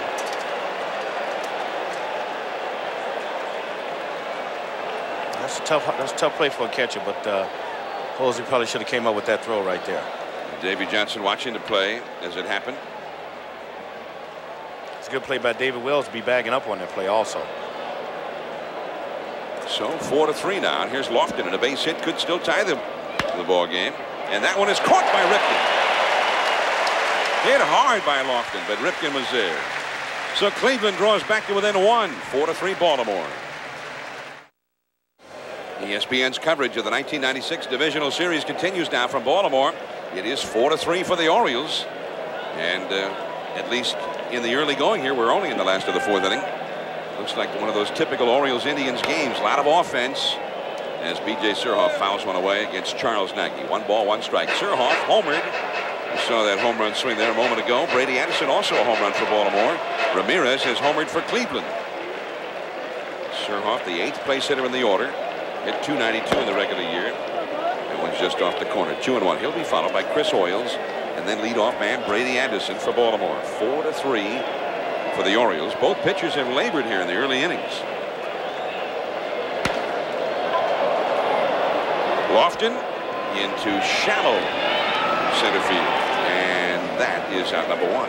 So Surhoff is gone. Now Hoiles will come up. The umpires are here. The regular Major League umpires. They arrived to the ballpark about 10 minutes before 1 o'clock here at Camden Yards. Drew Coble is the crew chief. And apparently, as we understand it, that there is uh, no agreement between uh, the umpires in Major League Baseball. No injunction has been issued, but the umpires have agreed to work today and tomorrow. Uh, today and tomorrow only at this point. They've uh, talked about uh, having a hearing regarding Roberto Alomar's status this Thursday.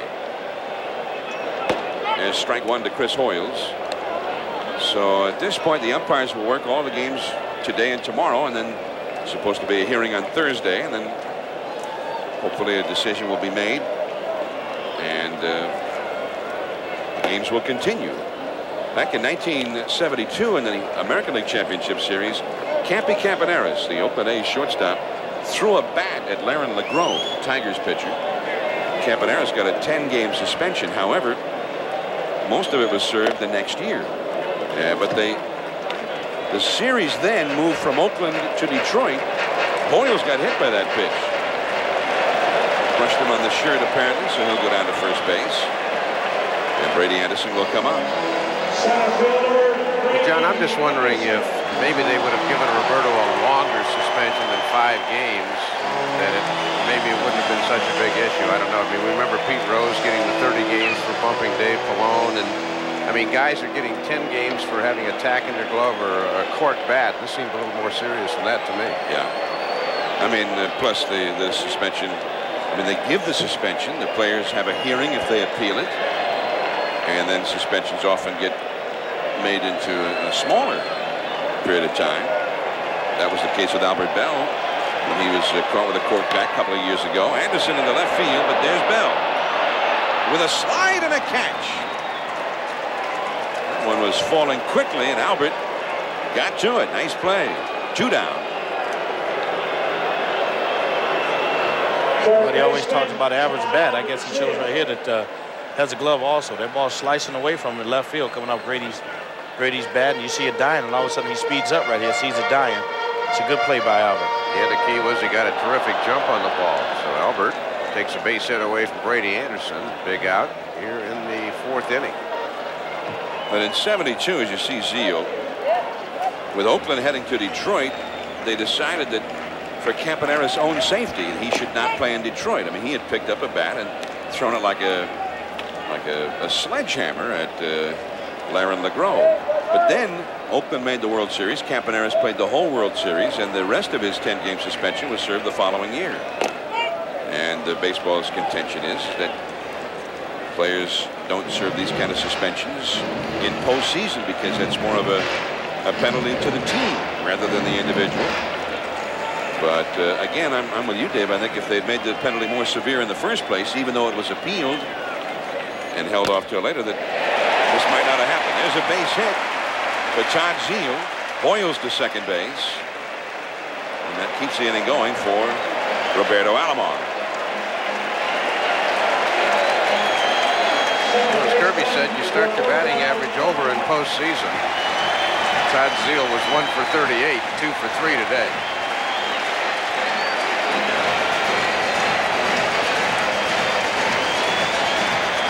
And the Cleveland bullpen is going to get busy again. And uh, for that matter, the Orioles bullpen is busy. Alomar has an infield single, and he has bounced out in front of the plate. A slider from Nagy for a strike. Pretty big play by Albert Belle now, especially with the hit by Zeile.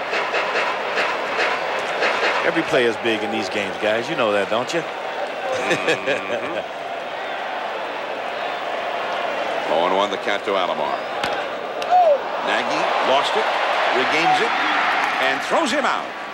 And Nagy, after Cleveland had come surging back into the game, shuts down the Orioles. Seitzer, Thome, and Belle coming up 4 to 3 Orioles. Orioles 4, Indians 3 as we head to the top of the fifth here at Camden Yards, Baltimore. Well, we talked about David Wells falling off the mound. Watch Charles Nagy's feet. When he lands, he's going to really help himself as he feels this ball back through the middle. Saves a base hit and a run. He fielded 1,000 this year, but look how his feet are squared off, and then he makes the play on Roberto Alomar. You can't do that if you're falling off the mound. So Nagy helps himself. No way does Vizquel get to that ball. David Wells, who really labored hard in that fourth inning. Comes back now with a one-run lead. And the Orioles bullpen is busy. Kevin Seitzer at the plate, then Jim Thome and Albert Belle. The power coming up for Cleveland here in the fifth inning. And that's a foul back to the screen. One ball, one strike. Rocky Coppinger, the big Orioles rookie right-hander. Won 10 ball games, mostly as a starter. Only appeared one time as a reliever during the season after being called up. He's in the bullpen now. The Orioles will most likely go with three starters in this five-game series, or best of five-game series with Cleveland. Seitzer one for two in the game. Fastball and called strike two. Wells has now thrown 81 pitches in this game. So you see the it's almost uh, all fastballs. Seven out of eight have been fastball. What's that? 85 to 90 percent of his pitches have been fastball.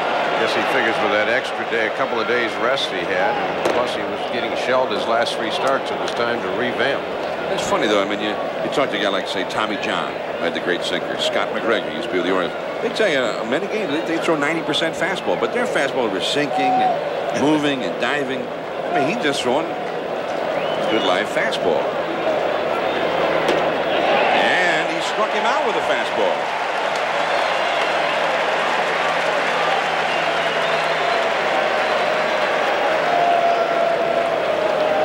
Third baseman, Jim Thome. You don't see Seitzer swinging many high fastballs, but uh, coming from Wells, you know, coming from right-handed hitter to left-handed and got those 90 miles an hour, it's kind of hard to lay off that pitch. Once you make up your mind to swing, it's kind of tough to stop in the middle.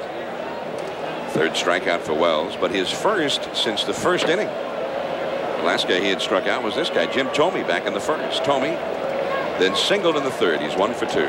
One out, nobody on. Fifth inning. Orioles four, Indians three.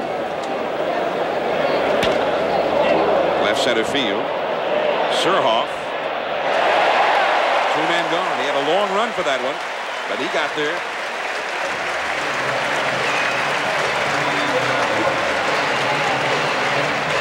That brings up Albert Belle.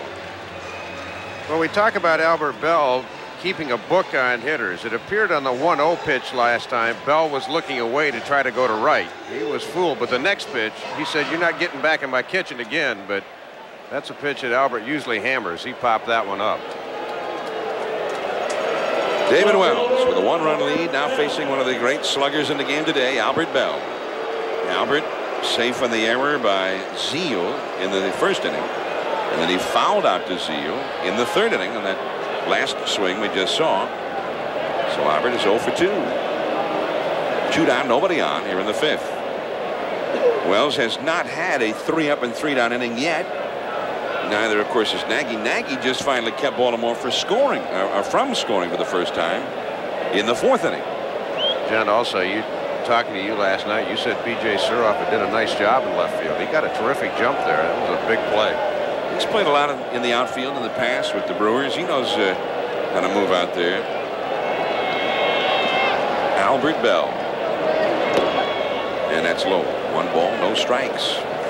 What do you think Albert's looking for? Something in or away? I know he's looking to drive one somewhere. well, I'll tell you the truth. I think he's looking for something right down the middle of the plate here, but Wells going to do his best not to try to lay it down the middle. Try to stay out of his zone a little bit. Maybe keep it away or run it hard inside. Well, there's a curveball.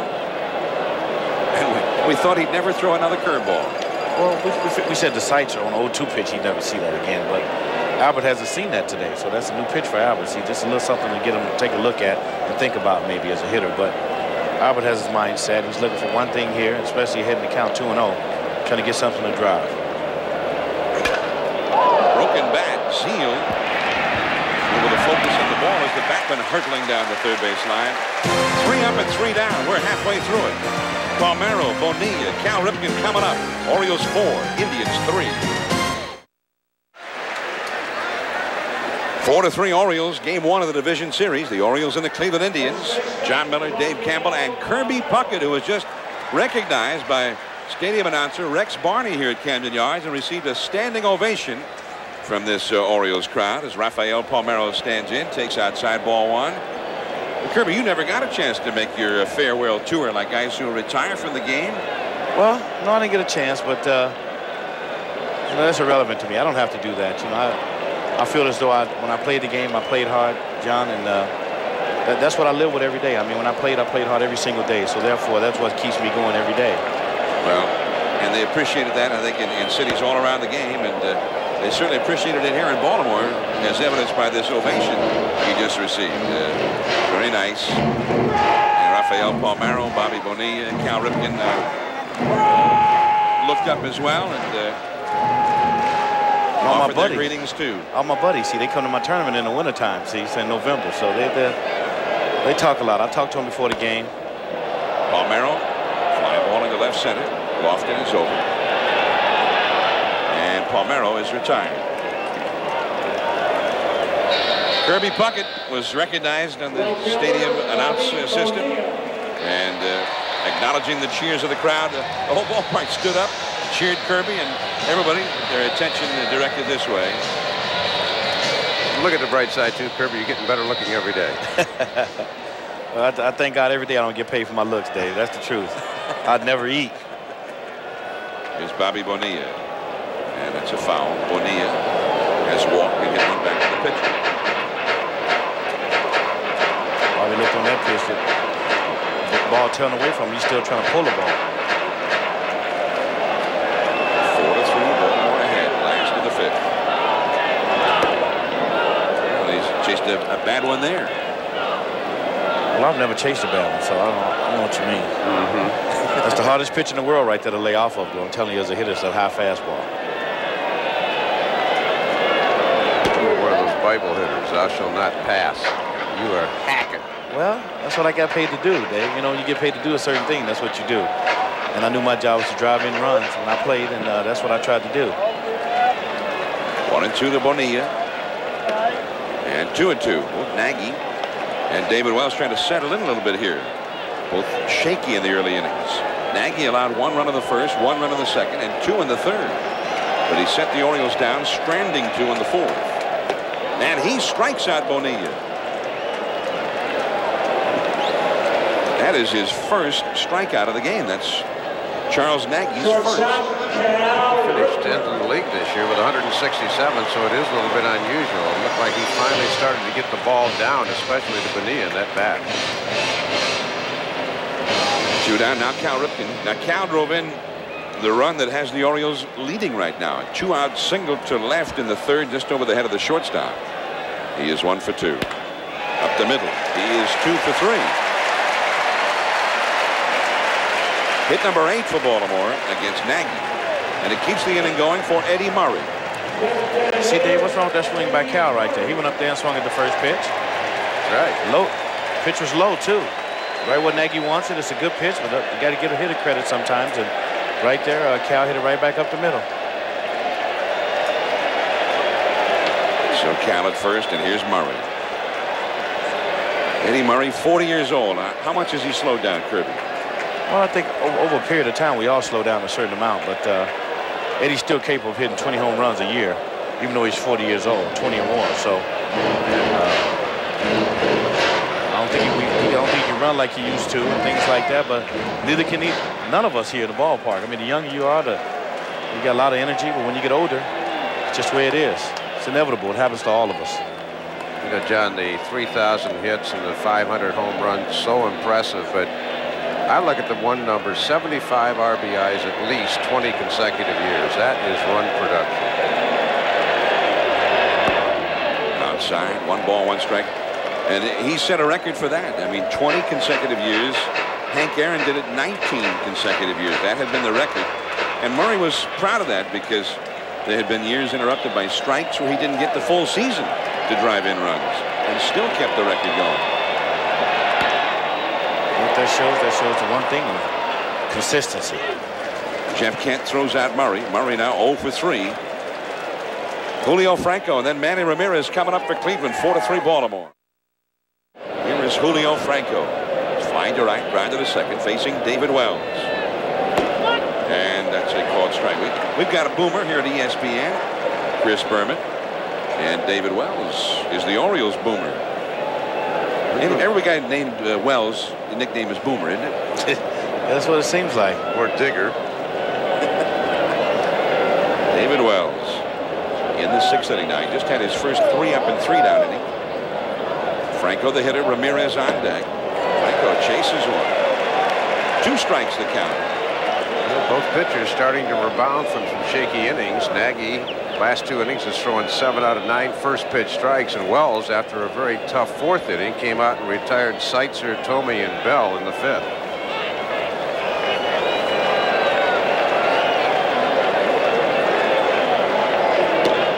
One and two.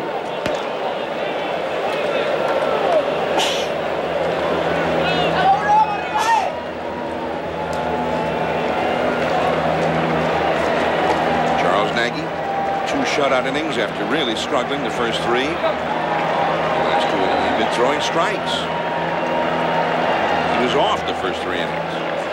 And the Orioles uh, took advantage of it. Brady Anderson, B.J. Surhoff, home runs for Baltimore. Palmeiro and Ripken RBIs. Ramirez a home run for Cleveland. Alomar and Vizquel RBIs for Cleveland. The Indians with one in the second, two in the fourth. The Orioles, one in the first, one in the second, two in the third. Four to three for the Orioles. We play the sixth. One and two the count. Broken bat, Ripken at short. And there's one away. Franco ran pretty well on that one. Just amazing as you watch Cal. He knows every hitter in this league so well. He knows just how much he has to put on the throw at any given time. Kirby probably ran down there a few times thinking you're going to beat one out against him, and the old half step got you. Well, yeah, that's the way he plays. But I mean, you still have to go down there hard just in case. You know, accidents do happen, and uh, doesn't make many. That's why he plays every day. Cal Ripken with uh, 14 errors this year, but not every day at shortstop. For a week, he played third base for the Orioles for the first time since 1982. And then uh, right back to shortstop. Ramirez, a homer and a single, but this was a pop fly. Bonilla. Two men gone. Two down, nobody on. Coming up Friday at 8 p.m. Eastern, 5 Pacific. It's opening night action for the National Hockey League with the defending Stanley Cup champion Colorado Avalanche taking on the St. Louis Blues. The Avalanche led by playoff MVP Joe Sakic and their outstanding goaltender Patrick Roy. That's the Avalanche and the Blues Friday at 8 Eastern right here on ESPN. Patrick wow. Nice. Come on. Jeff Kent. He has grounded to third, and he has doubled as part of that uh, Cleveland fourth inning rally. First ball swinging high in the air, shallow left center. Surhoff. And that makes eight in a row retired by David Wells, and only six pitches thrown in this inning for him. Surhoff coming up for Baltimore. The Orioles ahead. From downtown Baltimore, Camden Yards, the division series, game one, the Indians and the Orioles. And uh, Baltimore leading four to three as we go to the last of the sixth inning. Coming up later, actually now a 425 start. The Padres and the Cardinals from Busch Stadium, Joey Hamilton, Todd Stottlemyre at 8 o'clock tonight from Yankee Stadium on NBC. The Rangers with John Burkett, the Yankees, and David Cone. And then tomorrow, we'll be right back here. Joe Morgan will be back with me at 1 o'clock Eastern, the Indians and Orioles on ESPN. The Braves-Dodgers play game one of their series at 4 Eastern on ESPN. And then the Rangers and Yankees game two, and that will be seen on Fox tomorrow night at 8. Here's B.J. Surhoff, and he looks at a called strike from Charles Nagy. And uh, as he was not doing in the early going, Nagy is starting hitters with strikes now. That's foul off the left field line. Well, we brought it up earlier. Five out of the first 16 hitters he faced were first pitch strikes, 11 not, and now he has gone 8 of 10 getting ahead of the hitters. And it changes a, a lot of things. Now, all of a sudden, the last couple innings, seems like we've seen the Orioles swinging at more bad balls, looking a little more impatient, but they, they're behind when they're swinging at these pitches now. I might have even hit 250 if I had a 2-0 count on me all the time. Nagy's going to have to hurry. He got it. Nice play by Nagy. So Surhoff now one for three is one hit, a home run back in the second. Well, again, Charles Nagy, you can help yourself win ball games if you can field your position. He has not made an error all year, and he already saved one run. Got his hop out of the way. Technically very sound on that play. Nagy has now thrown out four runners. He's he's been busy out there. Here's Chris Hoiles, right-handed hitter, popped to second, and he's been hit by a pitch. The ninth place hitter in the Orioles batting order, Brady Anderson, the leadoff man on deck. Fastball too high from Nagy. Four to three, Baltimore ahead. The Cleveland bullpen is very busy here as we play the sixth inning. Charles Nagy, the last couple of innings, seems to really be settling in now. But so too has David Wells the last couple.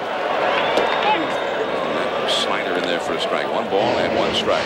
John, for whatever reason, people who watch pitchers on a regular basis say the guys that throw sinker balls usually finish in an excellent fielding position.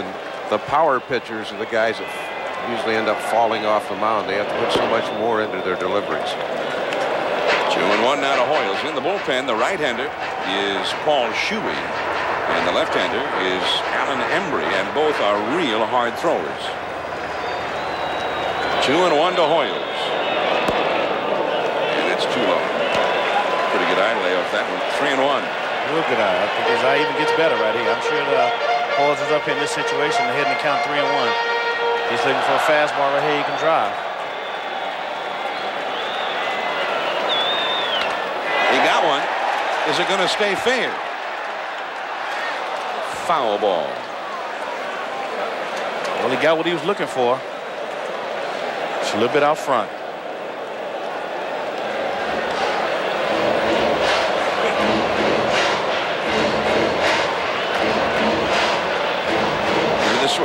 This one was pretty close. Here's a look.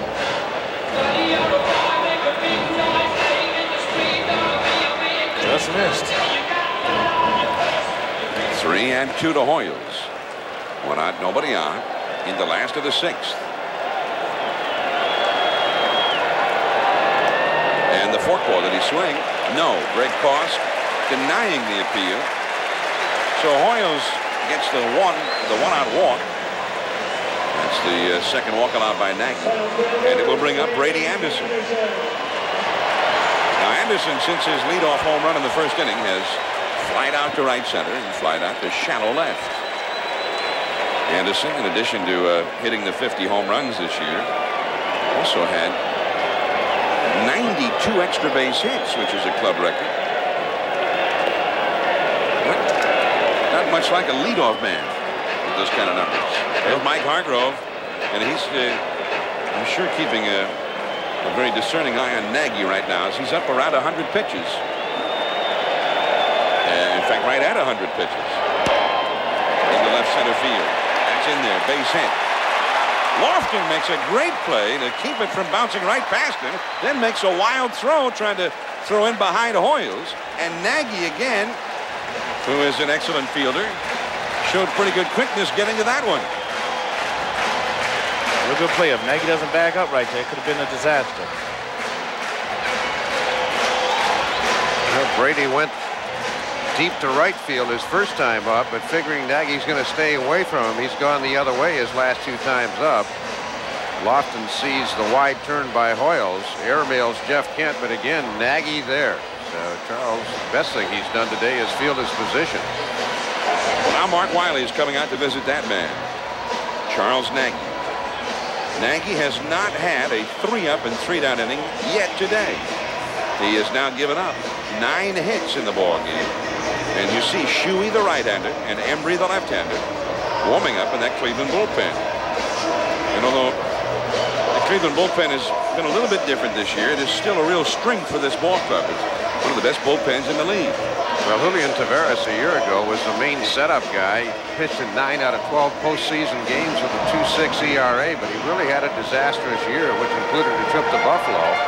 So Mike hasn't had quite that luxury. His main setup guys are Assenmacher and Plunk, but that comes around the seventh or eighth inning, and we're just in the sixth. Well, Yankee fans know full well the, the great season by Mariano Rivera up there in New York. last year, Tavarez did that job for Cleveland and did it almost as well. That's how valuable he was. But that was last year. Well, here's Todd Zeile. Zeile 0 for his last 29 to end the year. Today, in the postseason, he's 2 for 3. He just didn't waste them, I guess. Two men on. One man out, and it's ball one to Todd's got to look for a ball up here. He is a double play candidate if he hits it on the ground. He wants to try to force Nagy to get the ball up so he can drive it to the outfield. Nagy in a jam. Zeile at the plate. Roberto Alomar on deck. Hoiles at second. Anderson at first. And a foul ball comes back out of play. One and one now to Todd Zeile. He got an infield hit in the third, starting a two-run rally. And he got a two-out single in the fourth. Goes flight out deep to left. Shuey and Embree watching the action from the bullpen. They've been ready now. Occasionally throwing a pitch. Down and in. Two and one for Todd Zeile. Well, again, Davey Johnson has not exercised the running game very much late in the season with all this power. But if you were ever going to do it, Zeile a pretty good contact hitter. Hoiles doesn't run well, though. Zeile would have to put it in play. Hit and run time. Slider off the outside. Three and one. Well, that's about as tight a spot as you can get if you're Nagy. There's no secret now. Nagy definitely has to throw a strike right here. He knows that this could be his last pitch right here if he doesn't uh,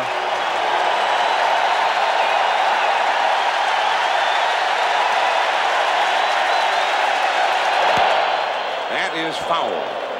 Kept the ball down. Pretty good pitch. Well, It- they, didn't run two and one. They didn't run three and one, and now it's three and two.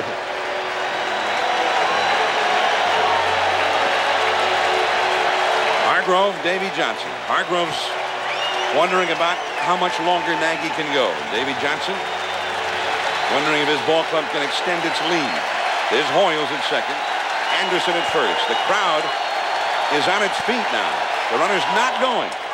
Down the line, foul. Hit hard again by Zeile, but foul again. Zeile was the cleanup hitter for the Phillies for the first five months of the year and led them in RBIs with 80. Knows all about RBI situations. Well, Davey must be afraid of the strikeout with Hoiles at second. Otherwise, he would start him.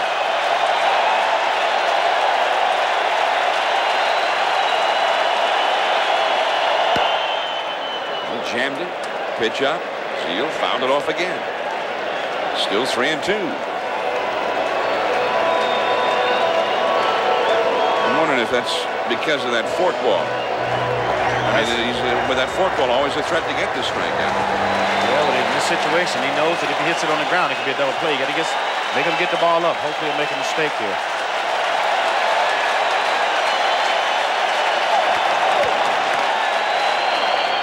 Whoa! Nagy can't believe it. He comes storming off the mound after Drew Coble. That was called ball four. Look at a Hargrove. Doing a slow burn over there in the dugout. Look, looking like a pretty close pitch.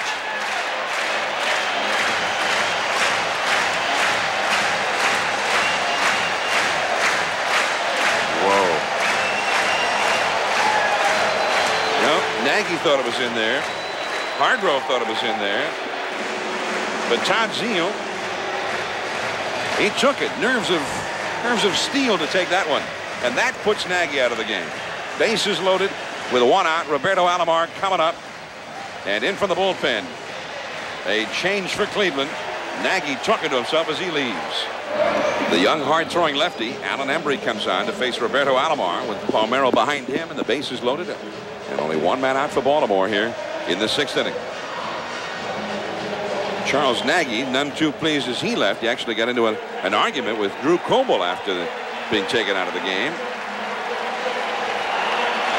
Well, this pitch is awfully close. It's not where Alomar catches it. It's where it crosses the plate. And Nagy was already out of the game, but he's just asking Drew. He said, man, I got to have that pitch. And Coble said no, and Hargrove wants to make sure that Nagy doesn't get booted to maybe miss another game.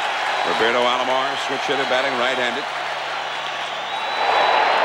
Shallow right center. Tagging at third is the slow-footed Hoiles. And the throw comes in into shortstop. Hoiles scores. Hoiles, one of the slowest men in the league. And Ramirez with the great arm, and he threw to shortstop. Well, Five to three Baltimore. Manny Ramirez leads the American League in assists, but sometimes he makes a lot of mental errors. He's got to know who that runner is at third. Chris Hoiles, the play has to be at the plate.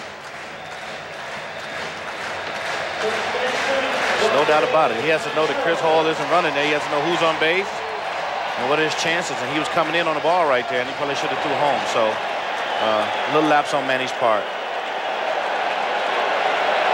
So a run is in for Baltimore. Five to three for the Orioles.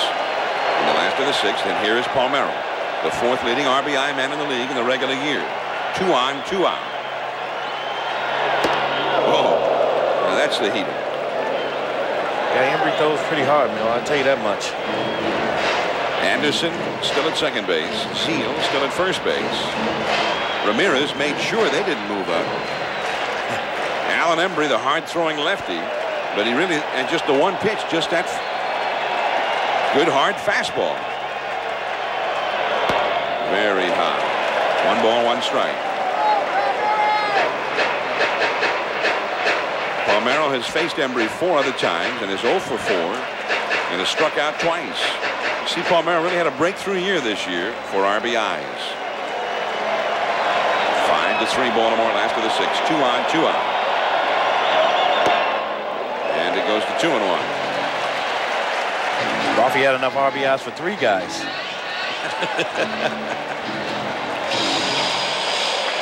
Well, Charles Nagy out of the ball game. The Cleveland A's. He gave up five runs, or so far five. The two base runners belong to him. A high foul that will come back out of play. Two and two to Palmeiro. As you can see, those nemesis is coming in the shadow in the batter's box, and uh, it makes it that much tougher on the hitter to pick up the spin on the ball once that shadow gets in there. So uh, hitters might have to go to the Kirby Puckett theory here and be hacking quite a bit here early in the count. Put the ball in play, because if you fall behind, tough to pick up the pitch. Two and two. Got it, hit him.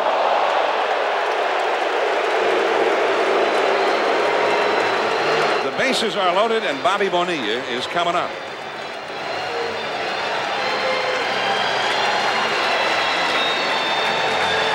I think that was just one that just got away from Embree. I don't think he was trying to hit Rafi right there. Trying to pitch him inside, fastball in, and that one got away from him a little bit. Well, Mike Hargrove wants to turn Bonilla around, making bat left-handed, so he will come out and get Embree now. He's got Paul Shuey, the big right-hander, another hard thrower in the bullpen. So the change is affected. The base is loaded.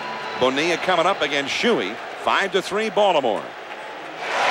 Baltimore five, Cleveland three. Last of the sixth inning, game one of the best of five series. Paul Shuey, the hard-throwing right-hander, is on the pitch. And he did real well in the regular year. Bobby Bonilla, the hitter, switch hitter, batting left-handed. A run is in for Baltimore on an ill-advised, almost just totally mysterious throw by Manny Ramirez. And the breaking ball is too high. The base runners, Brady Anderson, who has the only hit of the inning, third base. Zeile, who walked at second base. And Palmeiro, who got hit by a pitch at first base. And Bonilla. He's looked a little over anxious at times today, hasn't he? Yeah, it's uh, trying a little bit too much. He tried to look, do a little bit too much today. I think a lot of guys are doing that. He had very good success with the bases loaded this year. 95 mile an hour fastball, outside. Two and one. Big moment of this game.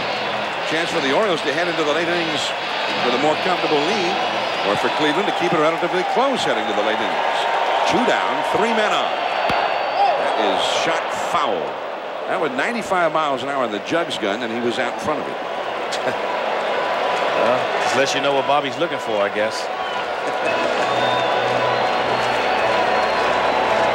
The biggest pitch of the game right here.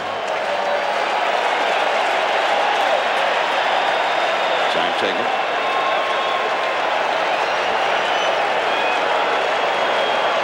Davey Johnson, knowing that a hit here Puts the Orioles in great shape.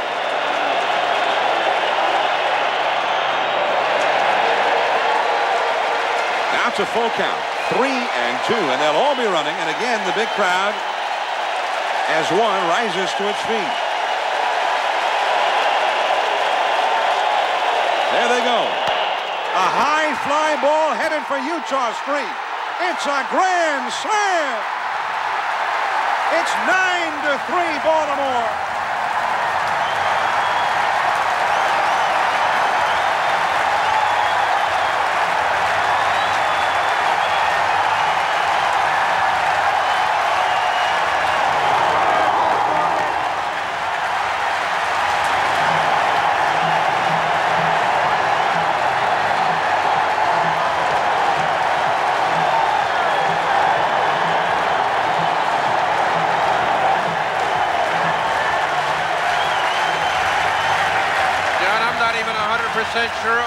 Strike. It went looked like he went down and hit something right above his ankle.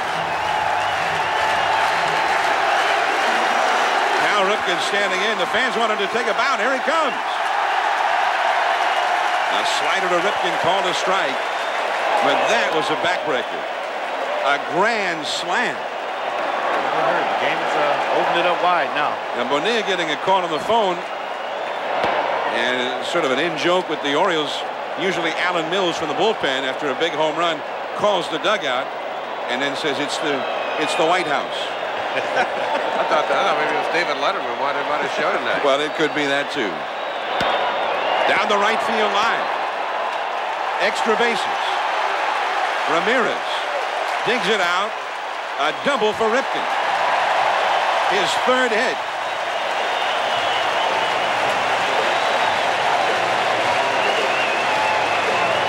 See on this pitch to Bobby Bonilla. When I first saw it, I thought the ball was just above his ankles.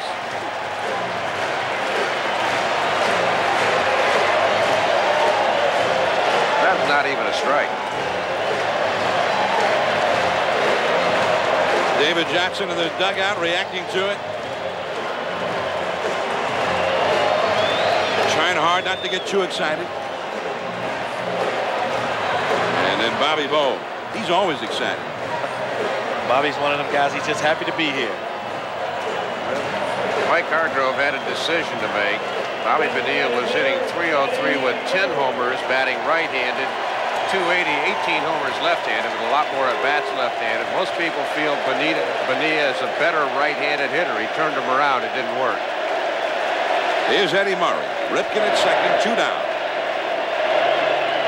Ball one. Well, the home run ball. That was the Orioles' favorite weapon of the year. They've given David Wells a six-run lead with which to work now. Three home runs for Baltimore, including the grand slam. Murray fouls it back out of play, and he was going downtown with that one, but fouled it back. One ball, one strike. The Orioles hit 11 grand slams this year, and Bonilla hit one of those. But now he's got the big one here in the postseason.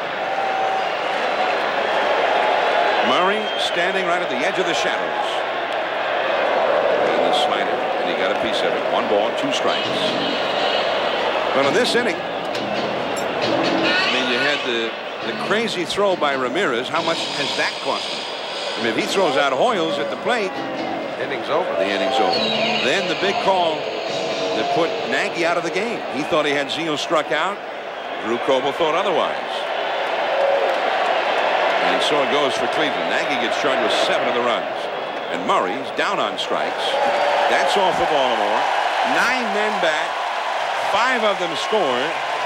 Four on one swing of Bobby Bonilla's bat. Nine to three Baltimore. And we head to the seventh inning.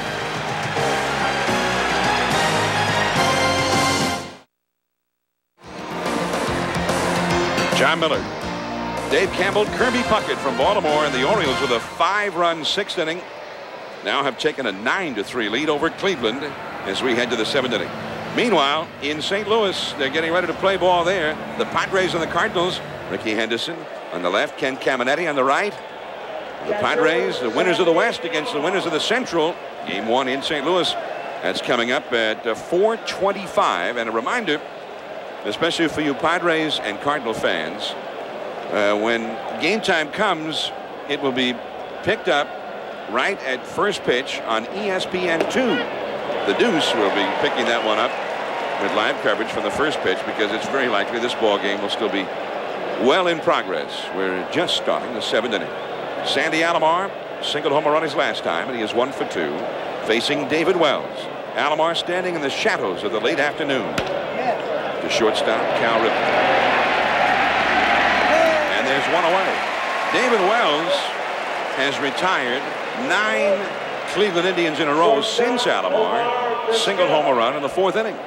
John, also, we talk about keys to the game and, you know, what Wells has done. The first five hitters in the Cleveland lineup, all 300 hitters plus, have gone two for 15 against him. A single by Jeff Kent, or excuse me, it's Kevin Seitzer in the first inning, a ground ball, and a single by Jim Thome. That's been it for the first five hitters in the Cleveland lineup. Now, Vizquel. Yeah, all three of the runs have been produced uh, by the, the six, seven, eight, nine hitters. Vizquel drove in a run, the last Cleveland run. That was in the fourth inning with a sacrifice fly. He's also walked. He's not yet had an official at bat. A switch hitter batting right-handed.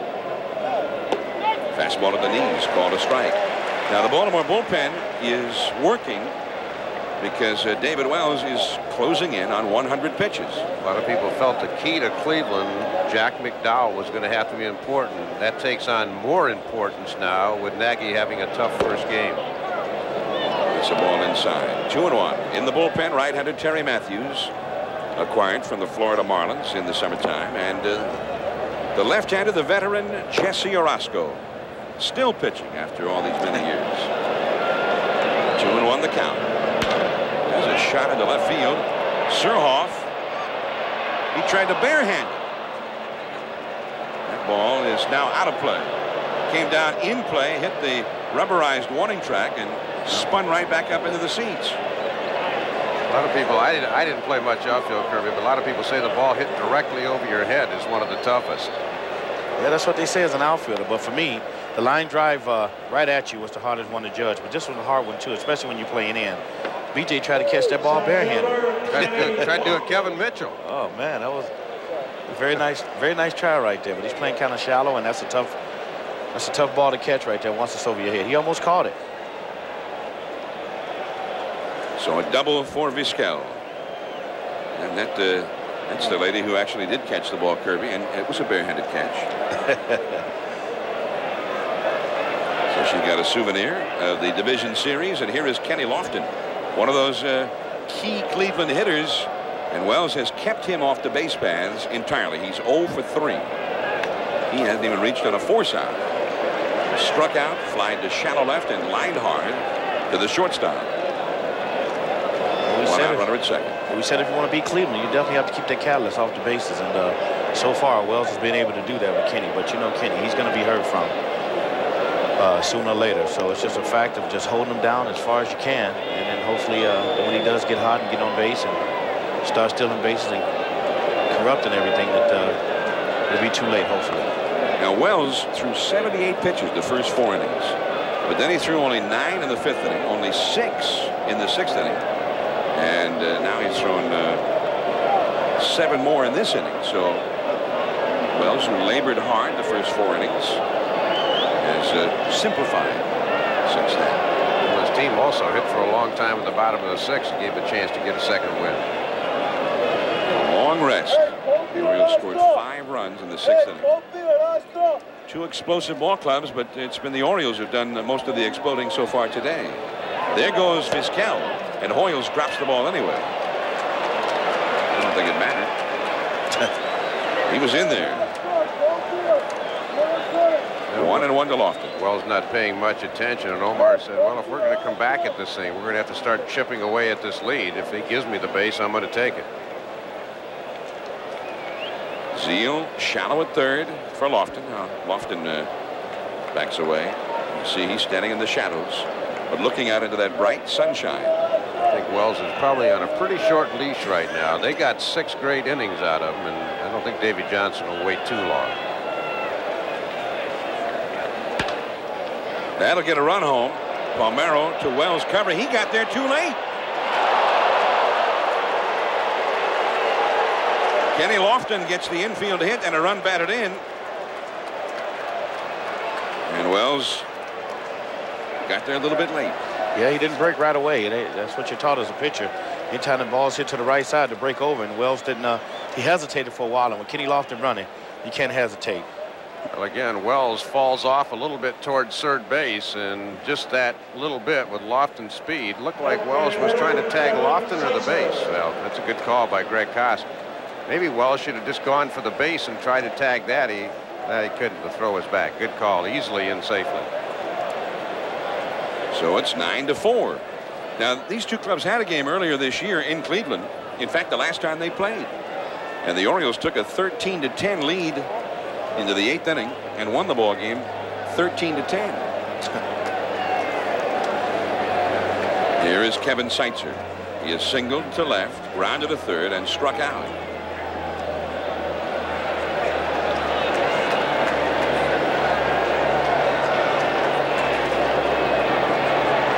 The ball game, uh, Cleveland ended up scoring six times in the bottom of the ninth inning. And David Wells was the starting pitcher that day went six innings, gave up three runs, and then the bullpen had a few problems in the last three innings that day.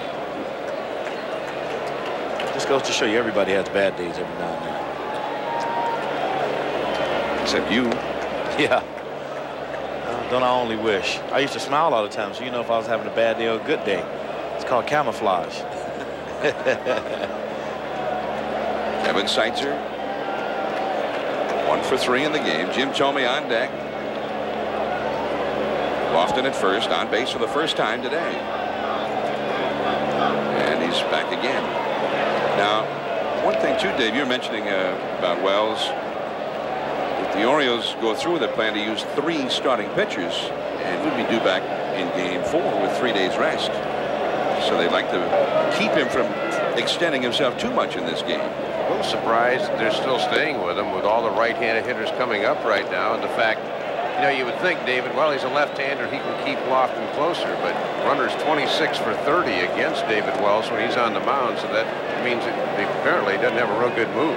Well, he's got that slow, deliberate leg kick. He looks at you, and then all of a sudden he lifts his leg real slow. Everything is real slow, so if you guess right. That's a strike. One ball, one strike to Seitzer. Slipped the old slide step on him, though. as soon as I said that, he, he slide stepped on me, so just goes to show you. 47,644 is the paid crowd today at Camden Yards.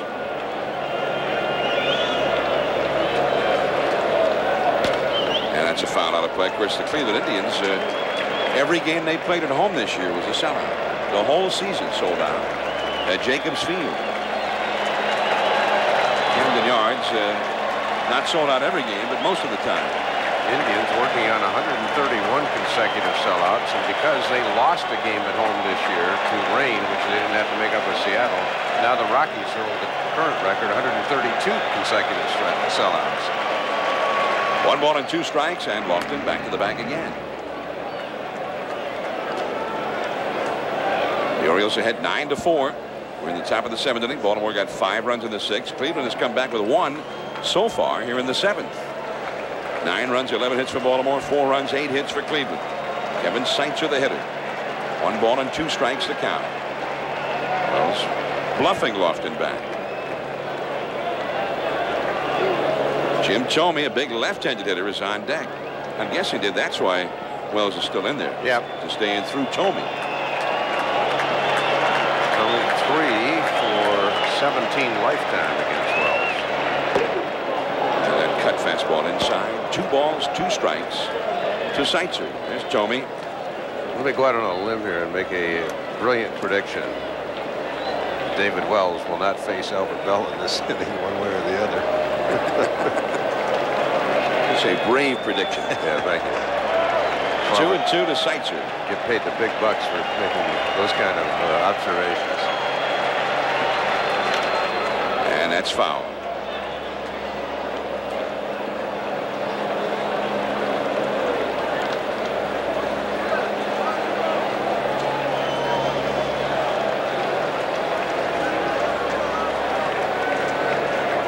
Jon Miller, Kirby Puckett, Dave Campbell from Camden Yards in Baltimore. We want to welcome everyone watching on ESPN2. We're in the seventh inning here in Baltimore. The Orioles nine, Cleveland four, and we'll be with you here from Baltimore until we take you to St. Louis on ESPN2 for the beginning of the Cardinals-Padres game. Lofton is running. It hits Wells in the foot, and Palmeiro will get the tag out on Seitzer. It's not the way they work on it in the spring, I'll tell you that. What's that goalie's name from Denver? Patrick. Kick, Wow. Kick save and a beauty. David Wells. Well, Davey Johnson will head out. Now, Richie Bancells, the trainer, is out there with Wells. Well, David certainly doesn't do it with his glove, but with that follow through, it hits him right in the foot. And the Orioles catch a break as it caroms right to Palmeiro, and Seitzer's out. I guess falling off the mound does help you sometimes. I, I guess. huh? David, now they're concerned about an injury. I don't know exactly where it got him on the lower leg, but maybe in the ankle. Took a little higher than the ankle, I think. Not not Was it? shin, but just maybe on the side a little bit. I know it hurt. That's all I know.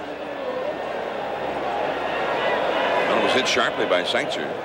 Davey's saying, you know, I got Thome. Can you give me one more guy? But boy, the way that David's walking, I don't know. Well, Davey Johnson's already made the call. He's signaling the bullpen for Orosco, and Wells will limp off alongside Richie Bancells.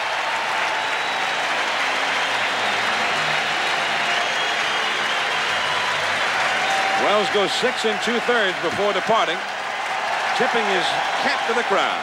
Jesse Orosco in to face Jim Thome. And a foul ball. Strike one, and Orosco almost uh, surely in here just to face the one hitter with a string of right-handed batters coming up next. Thome had been decent against the lefties, but still you'd rather have a lefty facing. David Johnson's really got the hammer right now. A five-run lead. He's got eight guys deep in the bullpen. He can do matchups left and right. He's got two more lefties after Orosco. Probably in his wildest dreams, he didn't think he'd have a five-run lead in the seventh. And he hits Thome. Davey's going, oops. That wasn't the plan.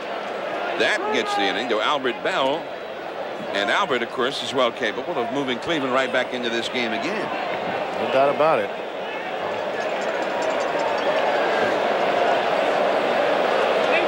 We talked about Thome standing right on the plate. That one hit him just above the elbow. And Davey wants the right-hander, so he's going to start maneuvering.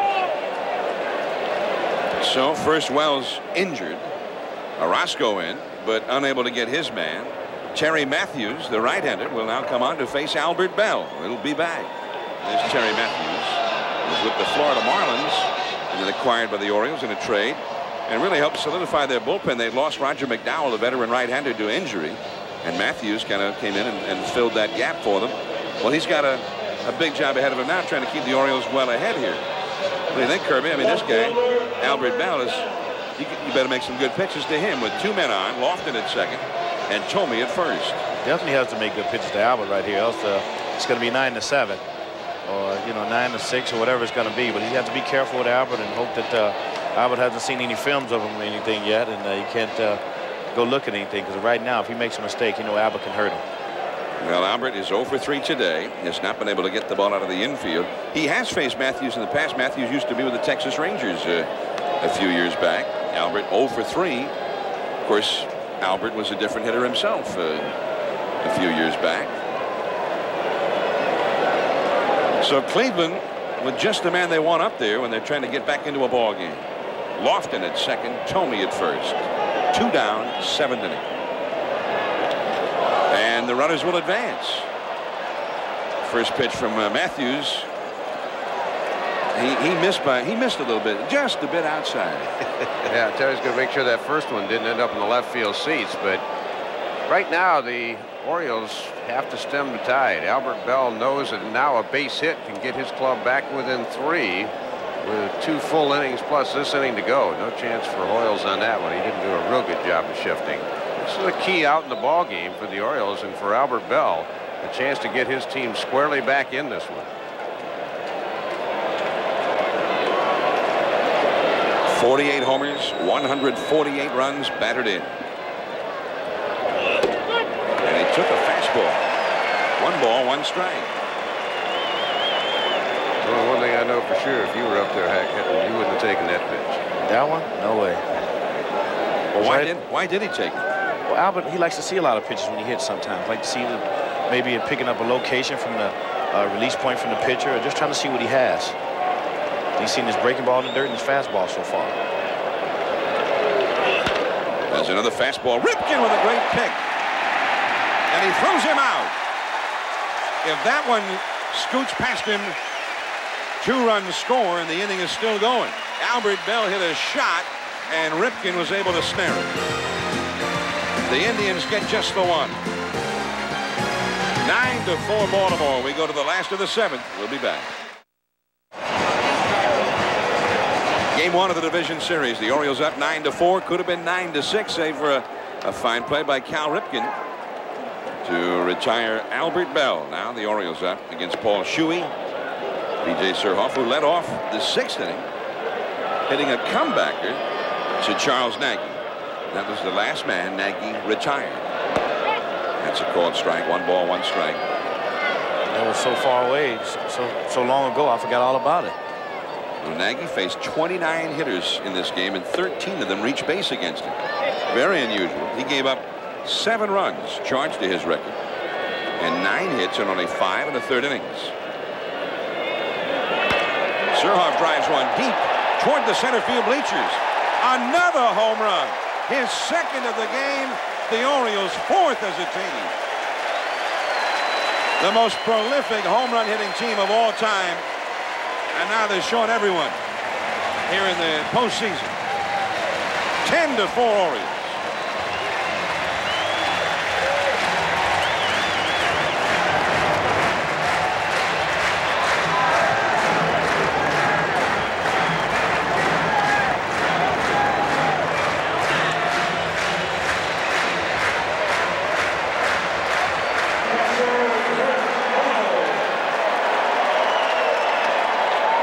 BJ goes down, gets one about knee high, and just golfs it into the stands. And Mike Hargrove can only shake his head.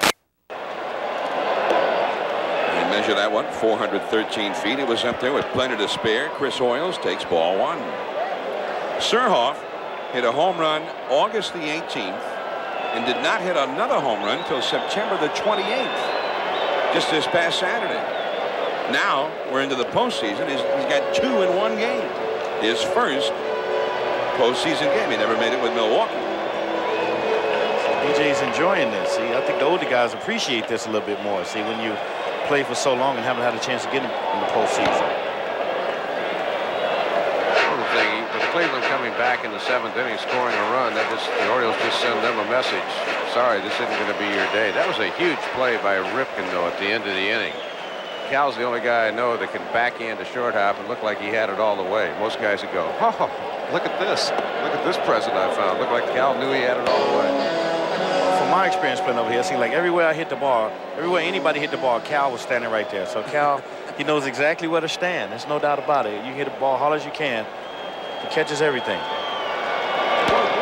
Hoiles drives one, left center, but Belle is there. And that's out number one.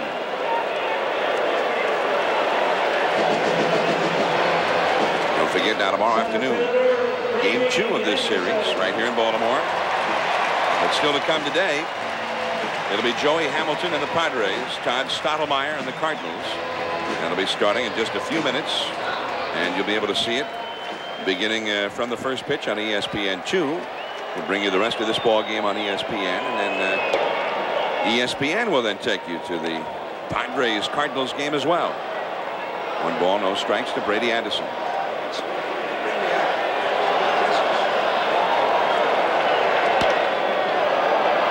Albert Belle, and that is out number two. Anderson now two for five. He got he sort of set the, the tempo of the day for the Orioles, leading off the game, the first man to bat for the Orioles in the postseason in 13 years, and he hit a home run, and they've been hitting them ever since. Four homers in the game for Third Baltimore. baseman, nothing new around here, man. A lot of home runs were hit around here this year. If you're fortunate to live in Baltimore and watch these guys play, and they hit a lot of home runs, and they're continuing that today. Here's Todd Zeile. Zeile takes ball one. And another one of those uh, veteran guys, Kirby. who finished the year in a real big slump. He's got two hits and a walk today, including the, the controversial walk. Charles Nagy thought he had him struck out in the sixth inning. B.J. Surhoff, a couple of homers. Cal Ripken, three hits. Bobby Bonilla, the grand slam. You don't know who's going to be the hero until you show up. And Sicker in there for a strike. Well, Kirby Puckett is here with us, and we're glad to have you, Kirby. But I know somebody very special to you is missing you today. And my wife Tanya and my today's little Kirby's birthday, so he's four years old. So I want to say hi to little Kirby and happy birthday, and, and hi to my daughter Catherine, and hi to Tanya and the rest of my family. All right. The Pucketts who are gathered around the television set. Not anymore. Now that I just said hi. Probably scattered out of there now. Time to go outside and play. Yeah, probably. They've been waiting for that all day. Okay, kids. Take off. Three and one. And three and two to Zeile. Well, this uh, we, we were talking about it earlier. This Cleveland bullpen was such a, a great source of strength last year. This year, the bullpen was very good, but this is not the kind of thing that happened to Cleveland last year. And they went to that bullpen, and that bullpen shut you down. Last year in the seventh, eighth, and ninth innings, they gave up the fewest runs in the major leagues. Not true this year.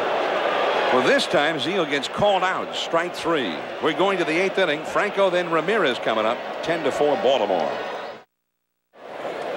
Game summary, Baltimore ahead 10 to 4. The top five Cleveland hitters, Lofton, Seitzer, Thome, Belle, and Franco have been shut down pretty effectively. Ramirez has had a big day. B.J. Surhoff, two home runs in his first ever postseason game. Here's Matthews giving up a base hit to center field to Julio Franco, the fifth place hitter. And that's only the first hit for him and only the fourth for those top five hitters. There's Mark Parent now catching for Baltimore, replacing Hoiles. And now Manny Ramirez will come up 10 to 4. The Orioles on top in the eighth inning. Now four home runs in the ball game for the Orioles. That is uh, not very common in the postseason in the, the history of the American League Championship Series. And of course, this is not the championship series. This is the, the new divisional series. The championship series began in 1969. Bobby Bonilla has one of the Orioles' four homers today. A grand slam. Surhoff's got two. And of course, Brady Anderson had one. But in the ALCS, only three teams have ever hit as many as four home runs in a game. Uh, the Orioles won 1971, and Oakland did it in 73 against Baltimore, and again in a game in 74 against Baltimore. And no team has done it since then, but now the Orioles have done it here in a divisional series game. Ramirez with Cleveland's only home run. Fastball in there for a strike. One and one the count. Of course, they have records, uh, but with only one division series under our belt, this is uh, year two of the great experiment. Tell you one thing about Cleveland, though, Terry Matthews better keep making quality pitches because these guys are going to start hammering if they see pitches in the middle of the plate. Both bullpens are busy as Matthews goes to work on Ramirez. And the curveball, no one outside. Two and one. Orel Hershiser, Scott Erickson. Erickson's been the Orioles' best pitcher down the stretch. His last six starts have been terrific. So the Indians, if they don't come back and rally in this one, have a big task ahead of them tomorrow. Two and one to Ramirez. He's two for three today. Fastball, base hit. Back-to-back singles for Cleveland here in the eighth inning. Surhoff throws behind Franco back into second base to Roberto Alomar. Third hit of the game for Ramirez. Tomorrow at 1 o'clock here on ESPN. Orel Hershiser 15 and 9 and Scott Erickson 13 and 12 but he did win five of his last six decisions. So that will be tomorrow 1 o'clock right here on ESPN game two and if this score holds up and with this Cleveland lineup we know we're we're a long way from from knowing how this one's going to turn out yet. Although the Orioles certainly like their chances as Jeff Kent comes up but if the Orioles win this one really a must win for Cleveland tomorrow. I mean, you, Seattle did it last year, fell behind two games to none, but generally speaking, in a best of five, you lose the first two, you're on your way out. Terry Matthews not fooling anybody. Two hits here and a rocket that Ripken grabbed last inning. Roberto Alomar. The infield fly is finally called. As Alomar catches it anyway. So Kent is now one for four. The run is hold. Franco at second. Ramirez at first. And that will bring up Sandy Alomar. I don't see him up. Maybe they're going to pinch hit for him as Alomar is down in the dugout. Is this Brian Giles Yeah. maybe coming up? Brian Giles comes up out of the dugout. A young and real strong left-handed hitter. You get a chance to see him, Kirby, at all? Your I think he, um, Aguilera, I think when I was in Minnesota, and I think he hit a grand slam or something off Aggie, I think in Metrodome this year. 22. He's not a real big guy, but he's real. He's real solid. He's real solid. He can hit the ball a long way, so pretty strong little kid. He hit 355 for Cleveland after being caught up in the minor leagues in 121 at bats. David Johnson saw enough of him too. He went 13 for 20 against the Orioles, and Davey's on his way out. He's not going to let him hit against the right-hander. Last time the Orioles saw Giles, he was hitting about 470 for the year, and mostly against them. Well, Arthur Rhodes, who has only pitched one time since early August, has gotten the call. Two on, one out, and we'll be back. Right now we're in downtown Baltimore near the Inner Harbor, Camden Yards, and the Orioles are leading the Cleveland Indians 10 to 4, but Cleveland with two men on and one man out with the powerful Brian Giles coming up against that man, Arthur Rhodes, Kirby. Arthur Rhodes can be tough, man. He's another one of these hard throwing guys here. We got a lot of hard throwers on both sides here today, and uh, Arthur Rhodes throws about 90 some miles an hour fastball and a good slider. I mean, he's not deceptive like a Jesse Orosco is gonna has a lot of motion or anything. I mean, he just comes right at you, straight and hard, and got a good slider to go with it. So Arthur Rhodes with two men on, one man out. Franco at second base, Ramirez at first. Giles, a 355 hitter in limited duty after being called up from the minor leagues. And it's ball one, 93 miles an hour on the jugs gun there with that reading. Now Arthur Rhodes got injured and was put on the disabled list in early August. And uh, was thought lost for the season. He came back in late September, and uh, the idea was that maybe he could be strong enough to face one hitter in the postseason. And this is the idea. This is the hitter, and uh, most likely after facing Giles, he'll be out of there.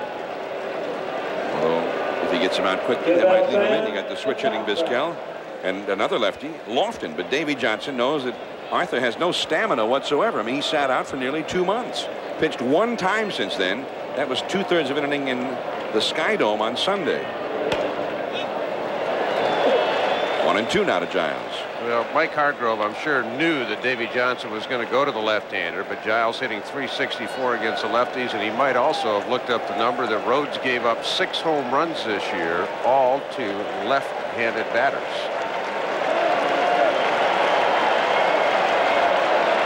Two men on, one man out in the eighth inning. Slider, and that misses. Two and two now. Both bullpens are busy again. Randy Myers, the Orioles closer, is warming up, the veteran left-hander. And the Cleveland bullpen is also busy now. Aaron- uh, Julian Tavarez, the right-hander, warming up for them. Strike three called. Out number two, and here's an update now from Gary Miller. Jon at Busch, Todd Stottlemyre in a jam. Two aboard, Gwynn double. Finley hit with a pitch 2-2 count to potential MVP Ken Caminiti.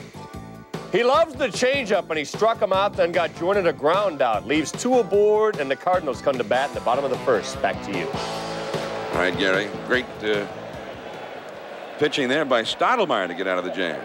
Now Arthur Rhodes trying to get out of the jam here. Two men on, two men out. Omar Vizquel, the hitter. The dirt, knocked down by Parent, the new catcher.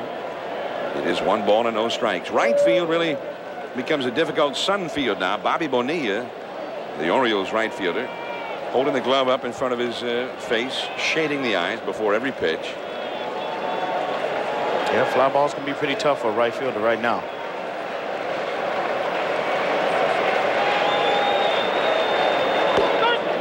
One ball, one strike. You see the reading on the jugs gun there. 92 miles an hour. Rhodes did a very good job for the Orioles out of the bullpen, coming in, sometimes throwing uh, two, three, four innings at a time, and was nine and one for them in that role.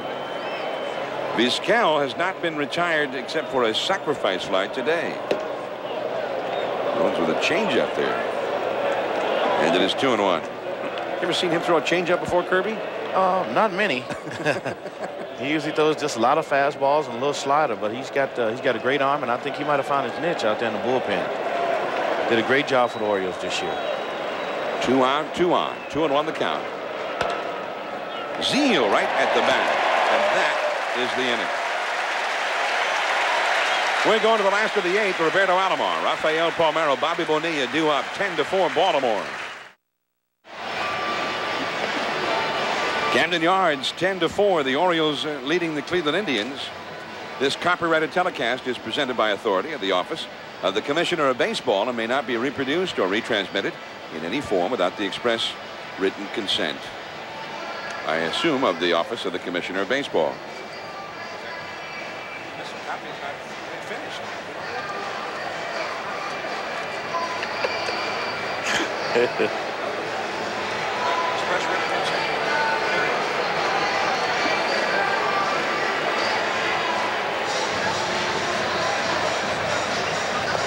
Julian Tavarez on to pitch now, and Roberto Alomar will be leading it off for the Orioles. Again, the umpires arrived today about 10 minutes before 1 o'clock with uh, no agreement with uh, baseball.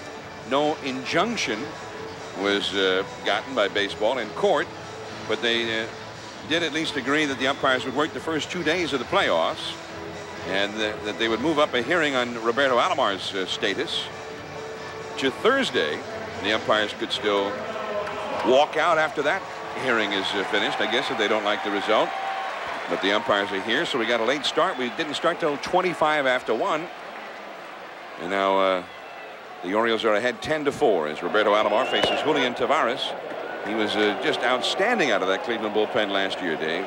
Well, a lot of speculation he wasn't going to be on the postseason roster, a late addition, and they took Albie Lopez and Kent Mercker. They got down between Tavares and those two guys.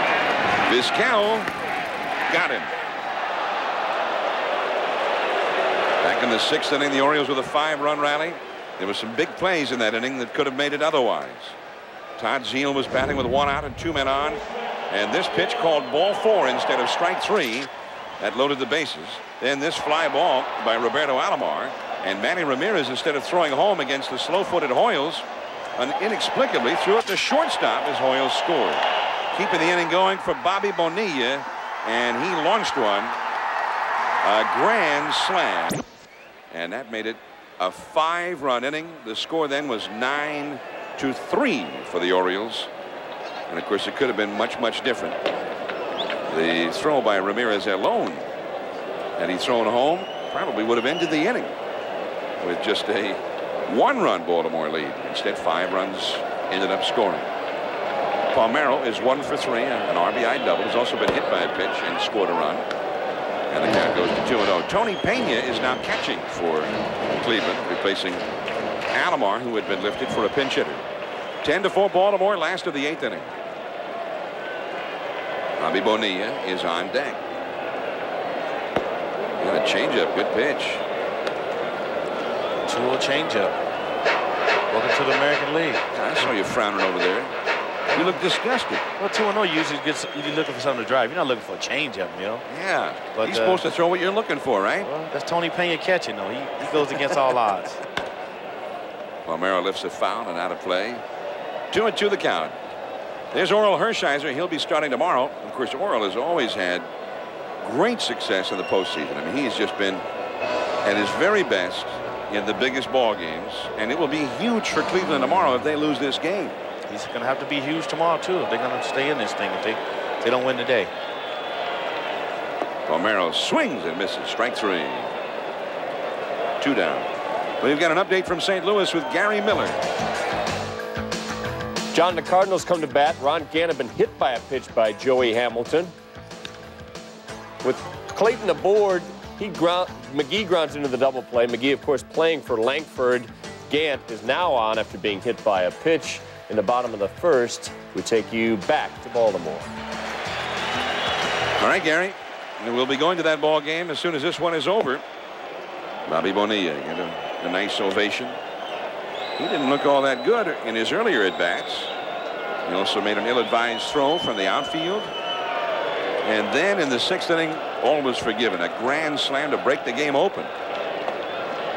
2-0 to Bonilla. Jon, just to go back to the Nagy pitch to Zeile, we did a breakdown on Baseball Tonight uh, about a month ago, and what we did eliminated the DH in the American League and the pitcher in the National League, so we would just have the eight position players, 400 more walks in the American League, 1,000 more strikes in the National League.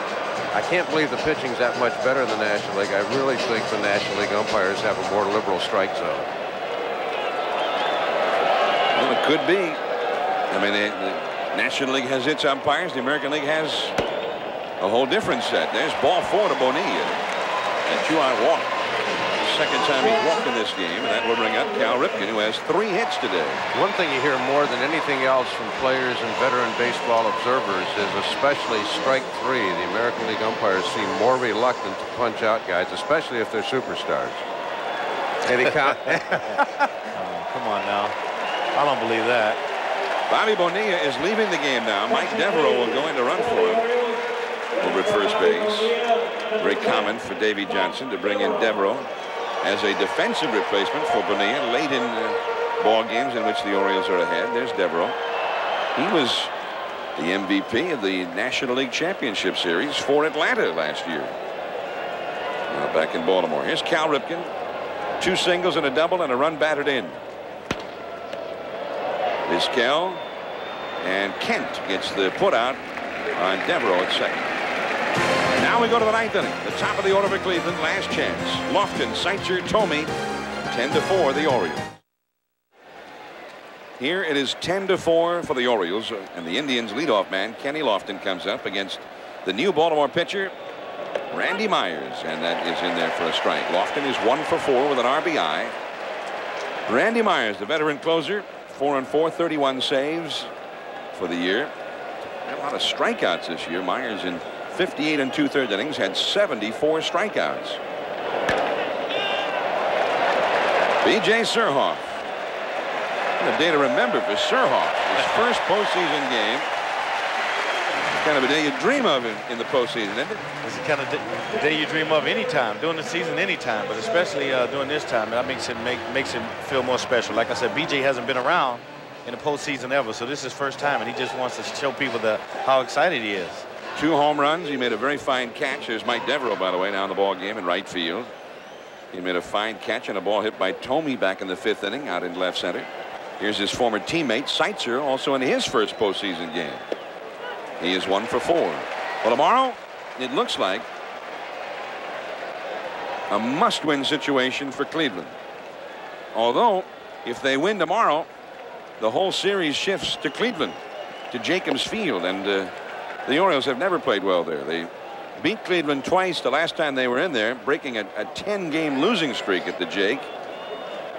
And Mike Hargrove and his ball club, they didn't play as well at the Jake this year as they did last year but they've always got to feel good when they're playing there.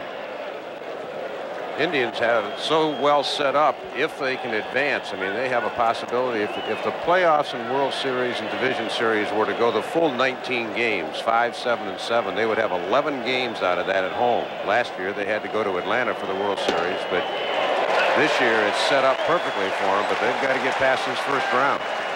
Last year, in the divisional series, Cleveland played the Boston Red Sox, a divisional winner themselves. And they swept the Red Sox in three games, although Boston played them pretty tough. One game went to extra innings. That's a foul. Tony Pena won it finally with a with a dramatic home run for Cleveland. They had to get past Roger Clemens in another ball game. But they swept the Red Sox. But now, a year later, facing the wild card team and the Orioles have put it to him today. Four homers. They lead 10 to 4. Jack McDowell would be scheduled to go in game one in Cleveland against his old Stanford mate, Mike Mussina, the Orioles ace, a 19 game winner. Two smart guys going at it. How'd you hit against those smart guys? I don't know. I, they're both tough. Just, I just thank God I don't play baseball That's, uh, anymore. Let's put it that way. From what we've heard from you today, you must have hit about 190. Strike three call.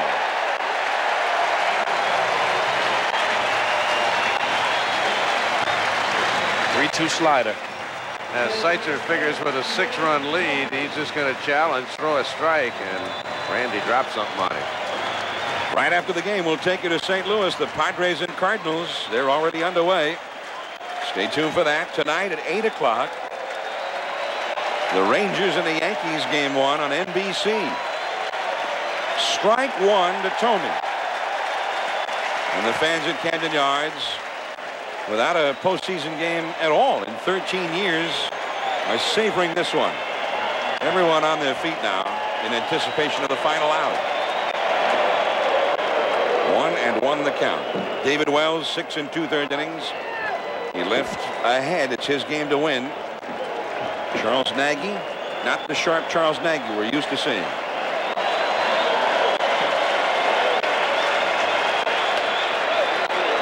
Two and one the count. Jon, obviously the four home runs, the grand slam by Bonilla big, but David Wells, he kept the first five hitters in the lineup to a three for 17. He retired the first batter in an inning six out of seven times. He gave the Orioles a lot more than maybe they were to expect. And now, two balls, two strikes to, to uh, two down in the ninth inning.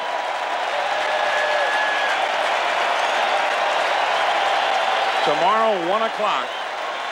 It looks like a must-win situation for Cleveland.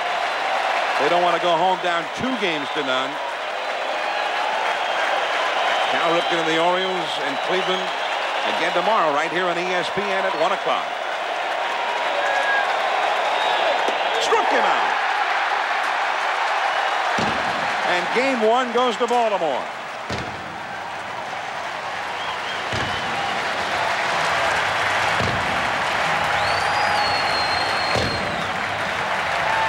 David Wells wins it. Nagy the loser. Surhoff a couple of home runs. Bonilla the grand slam. The Orioles now with a big ball game tomorrow. Must win for Cleveland. We'll see you tomorrow at 1.